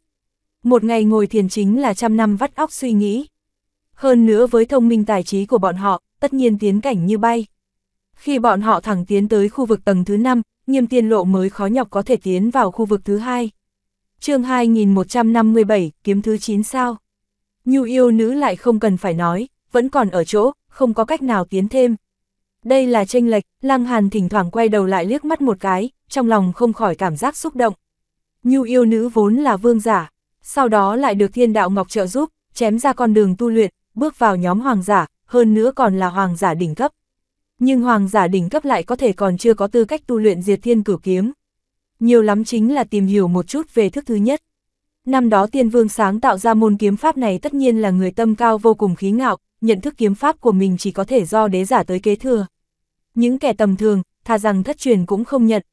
Hơn nữa, vị này tất nhiên là tiên vương cao giai, thất trọng, bát trọng, cửu trọng, trong lòng lăng hàn càng thêm chấn động kinh sợ, chỉ là hắn thấy, có vài vị tiên vương chuyển thế. Nói vậy, xác suất tiên vương chết vẫn rất cao, điều này hoàn toàn khác với hiểu biết của hắn về tiên vực. Tiên vương lẽ ra nên vạn cổ bất diệt, hắn ép xuống nghi ngờ trong lòng, hiện tại trọng điểm là học được môn kiếm pháp này. Hắn không giải thích được, nhưng sau khi cảnh giới nâng cao, cuối cùng hắn sẽ nhận được đáp án. Càng là tiến về phía trước, ký hiệu trên tấm bia đá hóa ra quang ảnh hình người lại có chiến lược càng cường đại hơn. Cũng khiến cho độ khó bọn họ muốn học cửu kiếm không ngừng tăng lên. Đến thời điểm năm thứ ba, Lăng Hàn đột nhiên ngừng lại, nhìn về phía sau. Có người đến, đám bảy người thư nhã dung, bọn họ cuối cùng đã suy tính hoàn tất, tìm được con đường chính xác. Đáng tiếc, chỉ là mấy chỗ rẽ như vậy mà thôi, lại khiến cho bọn họ chậm trễ 2 năm. Tranh lệch quá xa, từ điều này cũng có thể thấy được sự cường đại của cây luân hồi. Thiên địa bản nguyên chính là thứ lợi hại như vậy, thời điểm nhìn thấy Lăng Hàn, bảy người Thư Nhã Dung đều lộ ra vẻ giận dữ. Nếu có thể vẫn đi theo Lăng Hàn, bọn họ đã sớm có thể chạy tới nơi này trước 2 năm. Còn phải lãng phí thời gian một cách vô ích như vậy sao? Chỉ để cho ngươi dẫn một đoạn đường mà thôi, ngươi có tổn thất gì? Cần gì phải nhỏ mọn như vậy chứ? Bọn họ hoàn toàn nhìn từ góc độ của mình ra, suy nghĩ một chút, ngược lại bọn họ cảm thấy ủy khuất. Nhưng bọn họ không nghĩ, Lăng Hàn dựa vào cái gì phải dẫn đường cho bọn họ. Đừng nói là đang ở bí cảnh đoạt bảo, cho dù là ở bên ngoài, chỉ đường thôi cũng phải nói tiếng cảm ơn, có đúng hay không? Lăng Hàn cười nhạt, không có hứng thú để ý tới bọn họ. Bảy người thư nhã dung đương nhiên cũng phát hiện tấm bia đá này. Bọn họ vội vàng đi tới, cùng Diệt Thiên Cửu kiếm triển khai chiến đấu. Đáng tiếc chính là, ngoại trừ thư nhã dung ra, những người khác đều không có được đại đạo chân giải quy tắc giết chóc. Muốn để cho bọn họ lại chiến đấu vài cái như thế liền học được Diệt Thiên Cửu kiếm, đây không phải là đùa giỡn hay sao? Trừ khi tư chất của bọn họ đạt được trình độ nghịch thiên. Nếu không căn bản không có khả năng lại học được Diệt Thiên Cửu kiếm khi không có cơ sở như thế. Nhưng bọn họ lại không cam lòng, một môn kiếm pháp tuyệt thế đang ở ngay trước mặt, sao có thể bỏ qua? Vậy thì cứ lăn qua lăn lại, Lăng Hàn thu hồi lực chú ý, tiếp tục chiến đấu. Đừng thấy quang ảnh người hung bạo mạnh mẽ, nhưng bọn họ cũng là lão sư vô cùng tốt, thể hiện ra hết tinh túy của Diệt Thiên Cửu Kiếm, hết lần này tới lần khác, không hề cảm thấy phiền. Lại là một năm trôi qua, cho dù là nhu yêu nữ cũng có tiến bộ rất lớn, thẳng tiến đến khu vực tầng thứ hai. Nhưng ngoại trừ thư nhã dung ra, những người khác đều đau khổ qua lại ở tầng thứ nhất, không tiến vào được. Chỉ có điều thư nhã dung không hổ danh là thiên kiêu đệ nhị Quảng Long Thiên, còn là tiên vương chuyển thế. Nàng đã thẳng tiến đến tầng thứ ba, chạy song song cùng với nghiêm tiên lộ. Lúc này, Lăng Hàn, Nữ Hoàng, Hổ Nữ đã chiến đấu ở khu vực tầng thứ 8 khu vực rất lâu. Thông qua tầng này nữa, bọn họ có thể học được một kiếm cuối cùng của Diệt Thiên Cửu Kiếm, viên mãn. Ầm, um, Lăng Hàn dẫn đầu thông qua, trong lúc tiên ma kiếm vung lên chém ra, một đạo quang ảnh hình người bị hắn cứng rắn đánh tan. Toàn thân hắn tản ra sát khí vô tận, một bước vừa ra. Vút, hắn rơi vào khu vực tầng thứ 9, nhưng ký hiệu ở hàng thứ 9 lại không sáng lên. Chuyện gì xảy ra vậy? Lăng Hàn kinh ngạc, hắn rõ ràng đã sử dụng diệt thiên cửu kiếm xông qua, làm sao có thể không có phản ứng được. Hắn nhìn kỹ, cuối cùng hắn phát hiện ra ký hiệu ở hàng thứ 9 của tấm bia đá T cũng không hoàn chỉnh. Bị phá hỏng rồi, hắn nhìn lại vài lần, sau đó lại lắc đầu. Đây cũng không phải là bị người phá hủy, mà căn bản còn chưa có viết xong. Có lẽ, vị tiên vương kia cũng không có thể sáng tạo ra kiếm thứ 9. Có lẽ thời điểm hắn đang lưu lại kiếm thứ 9 đột nhiên thay đổi ý nghĩ. Không có ý chí của tiên vương, ký hiệu ở hàng thứ 9 ảm đạm không có ánh sáng. Hơn nữa nhìn thế nào cũng chỉ là những nét vẽ loạn. Lăng Hàn không thể làm gì khác hơn là dừng lại. ầm ầm ầm, đúng vào lúc này có một tiếng nổ phát ra. Tấm bia đá này đột nhiên sụp đổ, giống như hoàn thành truyền thừa, nó cũng có thể ngủ yên. Nhất thời, tất cả kiếm quang, bóng người đều biến mất. Ngươi, ngươi làm cái gì? Một đế giả của Quảng Long Thiên nhìn về phía Lăng Hàn quát lớn. Hắn tên là Mã Lộ Cương, xếp hạng thứ 8. Ta làm cái gì? Lăng Hàn sờ sờ mũi. Đối phương hiển nhiên tính đổ chuyện tấm bia đá sụp đến trên đầu của mình. Tuy rằng điều này rất có khả năng là thật, nhưng đó là xuất phát từ suy tính của vị tiên vương kia. Chỉ cần có người học được tám kiếm, tấm bia đá tự vỡ. Chuyện này có liên quan tới hắn cái lông, đừng nói hắn cũng không biết, cho dù biết, hắn có nghĩa vụ cố ý dừng lại, chờ những người này học được diệt thiên cửu kiếm sao. Thực sự nực cười, không phải ta khinh thường các ngươi, đám cặn bã các ngươi căn bản không học được môn kiếm pháp này. Lăng Hàn rất nghiêm trang nói, thật ra không phải Lăng Hàn đang kỳ thị bọn họ, mà là những người này cũng không học được đại đạo chân giải của quy tắc giết chóc, dù như thế nào đi nữa cũng chỉ là lãng phí thời gian mà thôi. Điều này không có liên quan gì tới thiên phú, trừ khi thiên phú của ngươi đạt được đến mức nghịch thiên. Ngươi, người của Quảng Long Thiên đều giận dữ, ngươi không chỉ đập nát tấm bia đá, không để cho chúng ta tu luyện kiếm pháp tuyệt thế, lại còn mắng chúng ta là rác rưởi. chương 2158, giết con gà. Lăng Hàn cười nhạt, nói, thế nào, vẫn không phục, tới đây, xem ta đánh cho các người phục thế nào. Người của Quảng Long Thiên đều cứng người lại, sau đó nhìn về phía Thư Nhã Dung. Trong số mọi người ở tại đó, cũng chỉ có Thư Nhã Dung có khả năng đối đầu với Lăng Hàn. Thư Nhã Dung không nói tiếng nào, kỷ vô danh đã nói, muốn đích thân lấy tính mạng của Lăng Hàn. Bởi vậy đừng nói nàng ra tay với Lăng Hàn, nếu như Lăng Hàn gặp phải nguy hiểm tính mạng, nói không chừng nàng còn có thể tương trợ. Lăng Hàn nhoẻn miệng cười, cho dù Thư Nhã Dung ra tay hắn cũng không sợ hãi. Trước đó, khi cùng kỷ vô danh chiến đấu hắn đã nhìn thấy rất rõ ràng. Thực lực của đối phương nhiều lắm cũng chỉ tương đương với hắn. Đây là ở dưới tình huống không suy nghĩ dùng tới đại chiêu. Hắn đảo mắt nhìn về phía sáu người mã lộ cương, nói. Đại nam nhân khác dựa vào một nữ nhân, có giỏi lao tới đây, ngươi thật sự cho rằng mình có gì đặc biệt hơn người sao. Mã lộ cương nhảy ra ngoài, trong lòng hắn biết rõ, mình không phải là đối thủ của Lăng Hàn. Nhưng muốn chống đỡ 10 chiêu trăm chiêu lại không thành vấn đề. Bởi vậy, hắn quyết định nhảy ra đánh mấy chiêu, lấy chút mặt mũi trở về. Lăng Hàn chợt hiện, vèo, thân hình hắn nhanh như lưu quang, trong nháy mắt đã đi tới trước người Mã Lộ Cương.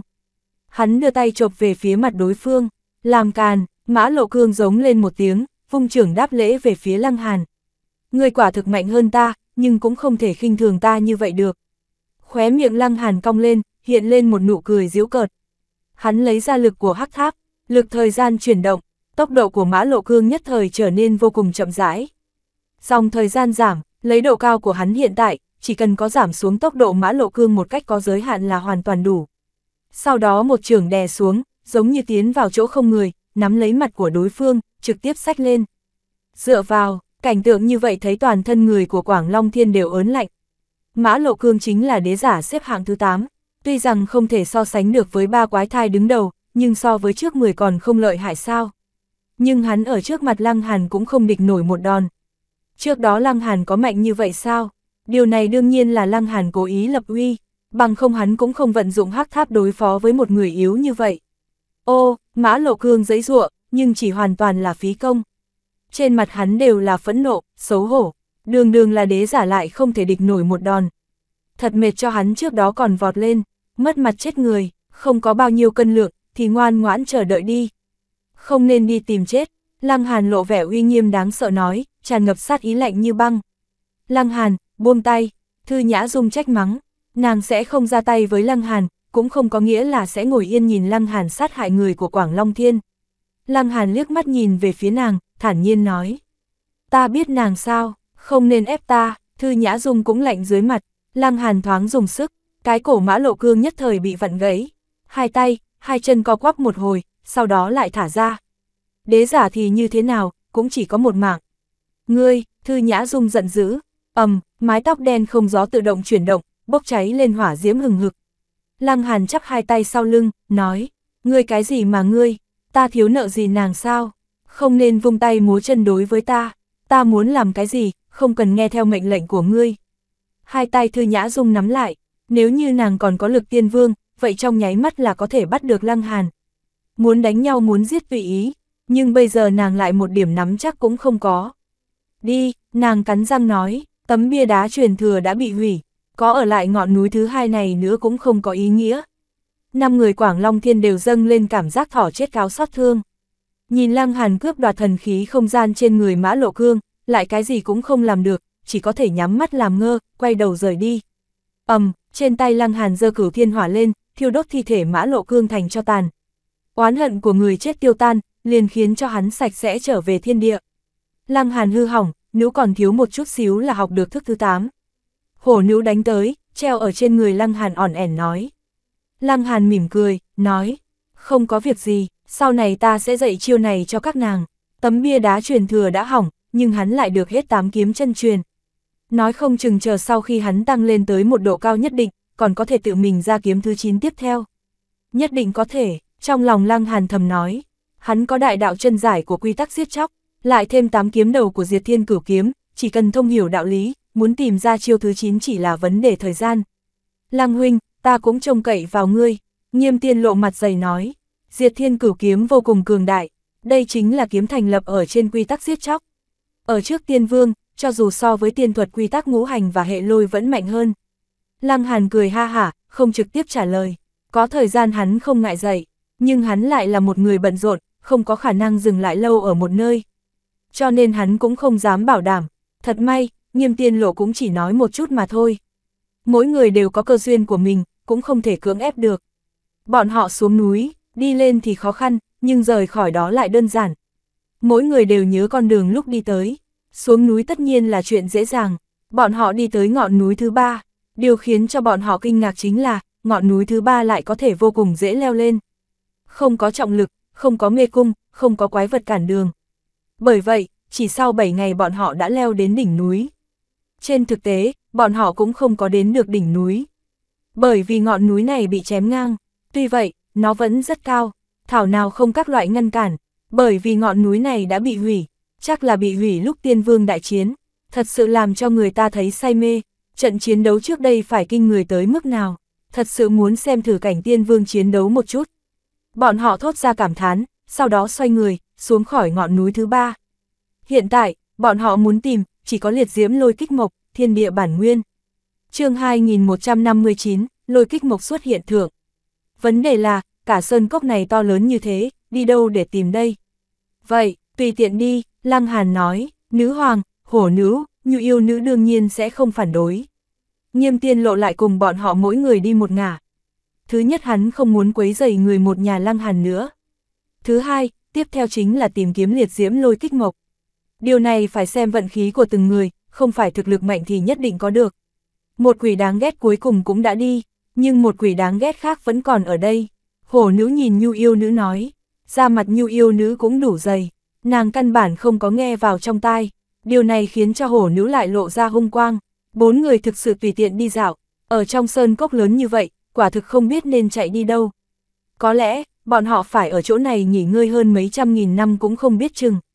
Thật may, tam hoa cốc cũng không có mở ra, qua thời gian nhất định sẽ đi ra, nếu không sẽ có hạn chế sát cơ lớn, khiến cho bọn họ có thể ung dung tìm kiếm.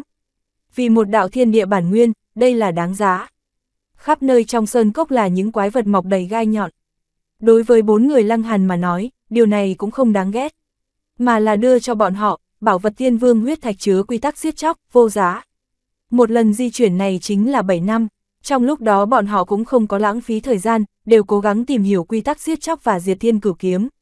Xoẹt, tia chớp đột nhiên từ trên bầu trời bổ xuống, khiến cho bốn người đều bị dọa giật mình.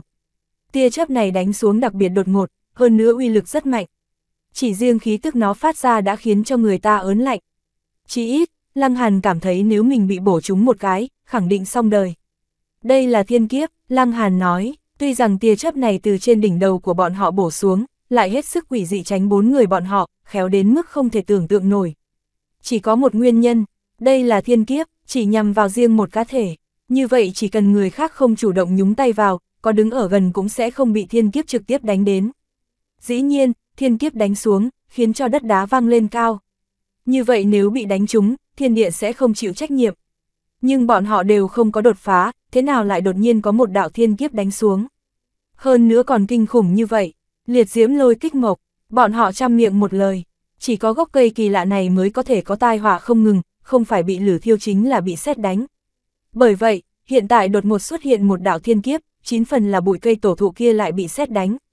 Mới vừa rồi là một dư âm xẹt qua, nói như vậy hẳn là ở phía trên, bọn họ ngẩng đầu nhìn trời, nhưng bọn họ chỉ có thể nhìn thấy một mảnh mây mù lượn quanh. Lăng Hàn hít một hơi thật sâu, ngừng tụ ra tất cả lực lượng của toàn thân.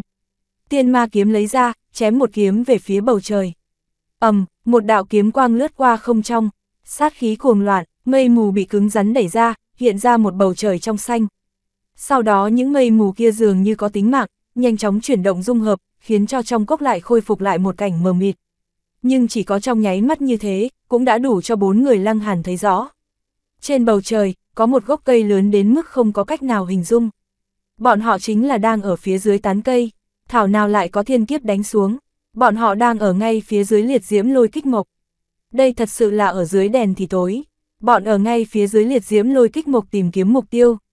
Căn cứ vào hình dáng tán cây có thể thấy, phương hướng của thân cây chắc hẳn là ở đó. Lăng Hàn chỉ vào một phương hướng nói, được, đi thôi, bốn người đi về phía đó. Lần đi này lại có thể chính là 7 ngày. Lúc này bọn họ mới nhìn thấy được phía trước xuất hiện một bức tường, toàn thân tối tăm. Đứng ở bên tường tiếp tục nhìn, sẽ phát hiện ra bức tường này không phải là hoàn toàn bằng phẳng, mà là thành một hình cung. Chỉnh thể mà nói chắc là một bức tường có kết cấu hình vòng tròn. Chỉ là nó quá lớn, cảm giác giống như bằng phẳng. Đây là liệt diễm lôi kích mộc, thời điểm bọn họ phát hiện ra mình đang đứng ở dưới cây, nói không chừng đã di chuyển ở dưới tán cây chừng mấy ngày. nhưng bọn họ vẫn phải đi thêm 7 ngày mới đi tới chỗ thân cây. Như vậy đủ thấy gốc cây tổ thụ này cực lớn, tán cây lớn như vậy, thân cây làm sao có thể nhỏ được. Lăng Hàn vươn tay ra, đặt ở trên thân cây, xoẹt, chỉ thấy có tia chớp màu trắng xoẹt qua, ầm, hắn đã bị chấn động bay ra ngoài. Lăng Hàn, người không sao chứ? Hổ nữ vội vàng chạy tới. Không có việc gì, Lăng Hàn bò dậy, nói là không có việc gì, nhưng thân thể hắn lại không ngừng run lên. Lực tia chớp trên liệt diễm lôi kích mộc này thật sự không thể khinh thường. Tuy rằng còn chưa đủ để lấy giết chết hắn, lại khiến cho toàn thân hắn run rẩy, khó chịu vô cùng. Tới đi, tất cả mọi người đi thử một chút, xem ai có thể lấy được đạo thiên địa bản nguyên này. Lăng Hàn nói, hắn muốn gốc cây liệt diễm lôi kích mộc này, nhưng tuyệt đối không sẽ ích kỷ độc chiếm, không cho người khác có cơ hội thử. Thiên địa bản nguyên, vốn chính là người có duyên sẽ nhận được. Ba người nữ hoàng đều gật đầu, cách nhau xa một chút, đối mặt với liệt diễm lôi kích mộc. Thu như thế nào, là dựa vào thủ đoạn của mỗi người. Hơn nữa, cơ hội khó có được, ai biết lúc nào liệt diễm lôi kích mộc sẽ phi thiên độn địa rời đi. Lăng Hàn cũng đi tới, hắn vận chuyển bất diệt thiên kinh, loại này là công pháp cấp bậc thiên tôn, vượt lên trên vạn đạo, như vậy đối với thiên địa bản nguyên chắc hẳn cũng có lực hấp dẫn cường đại. Om, toàn thân của bốn người đều phát sáng, đại đạo của mỗi người hiện lên trên thân, muốn khiến cho liệt diễm lôi kích mộc cộng hưởng, thu được sự công nhận của hắn. Liệt diễm lôi kích mộc không có chút phản ứng nào, giống như cây cối bình thường, mặc cho ngươi làm ra bao nhiêu cũng chỉ là uổng phí. Bốn người đều không buông tha, chỉ cần liệt diễm lôi kích mộc còn ở nơi này, bọn họ vẫn có cơ hội. Hơn nữa, thiên địa bản nguyên làm gì có thể dễ dàng bắt lấy như vậy sao? Bọn họ tiếp tục, lại qua mấy ngày sau, chỉ thấy trên thân cây có từng đạo mạch văn phát sáng, che kín cả toàn bộ thân cây.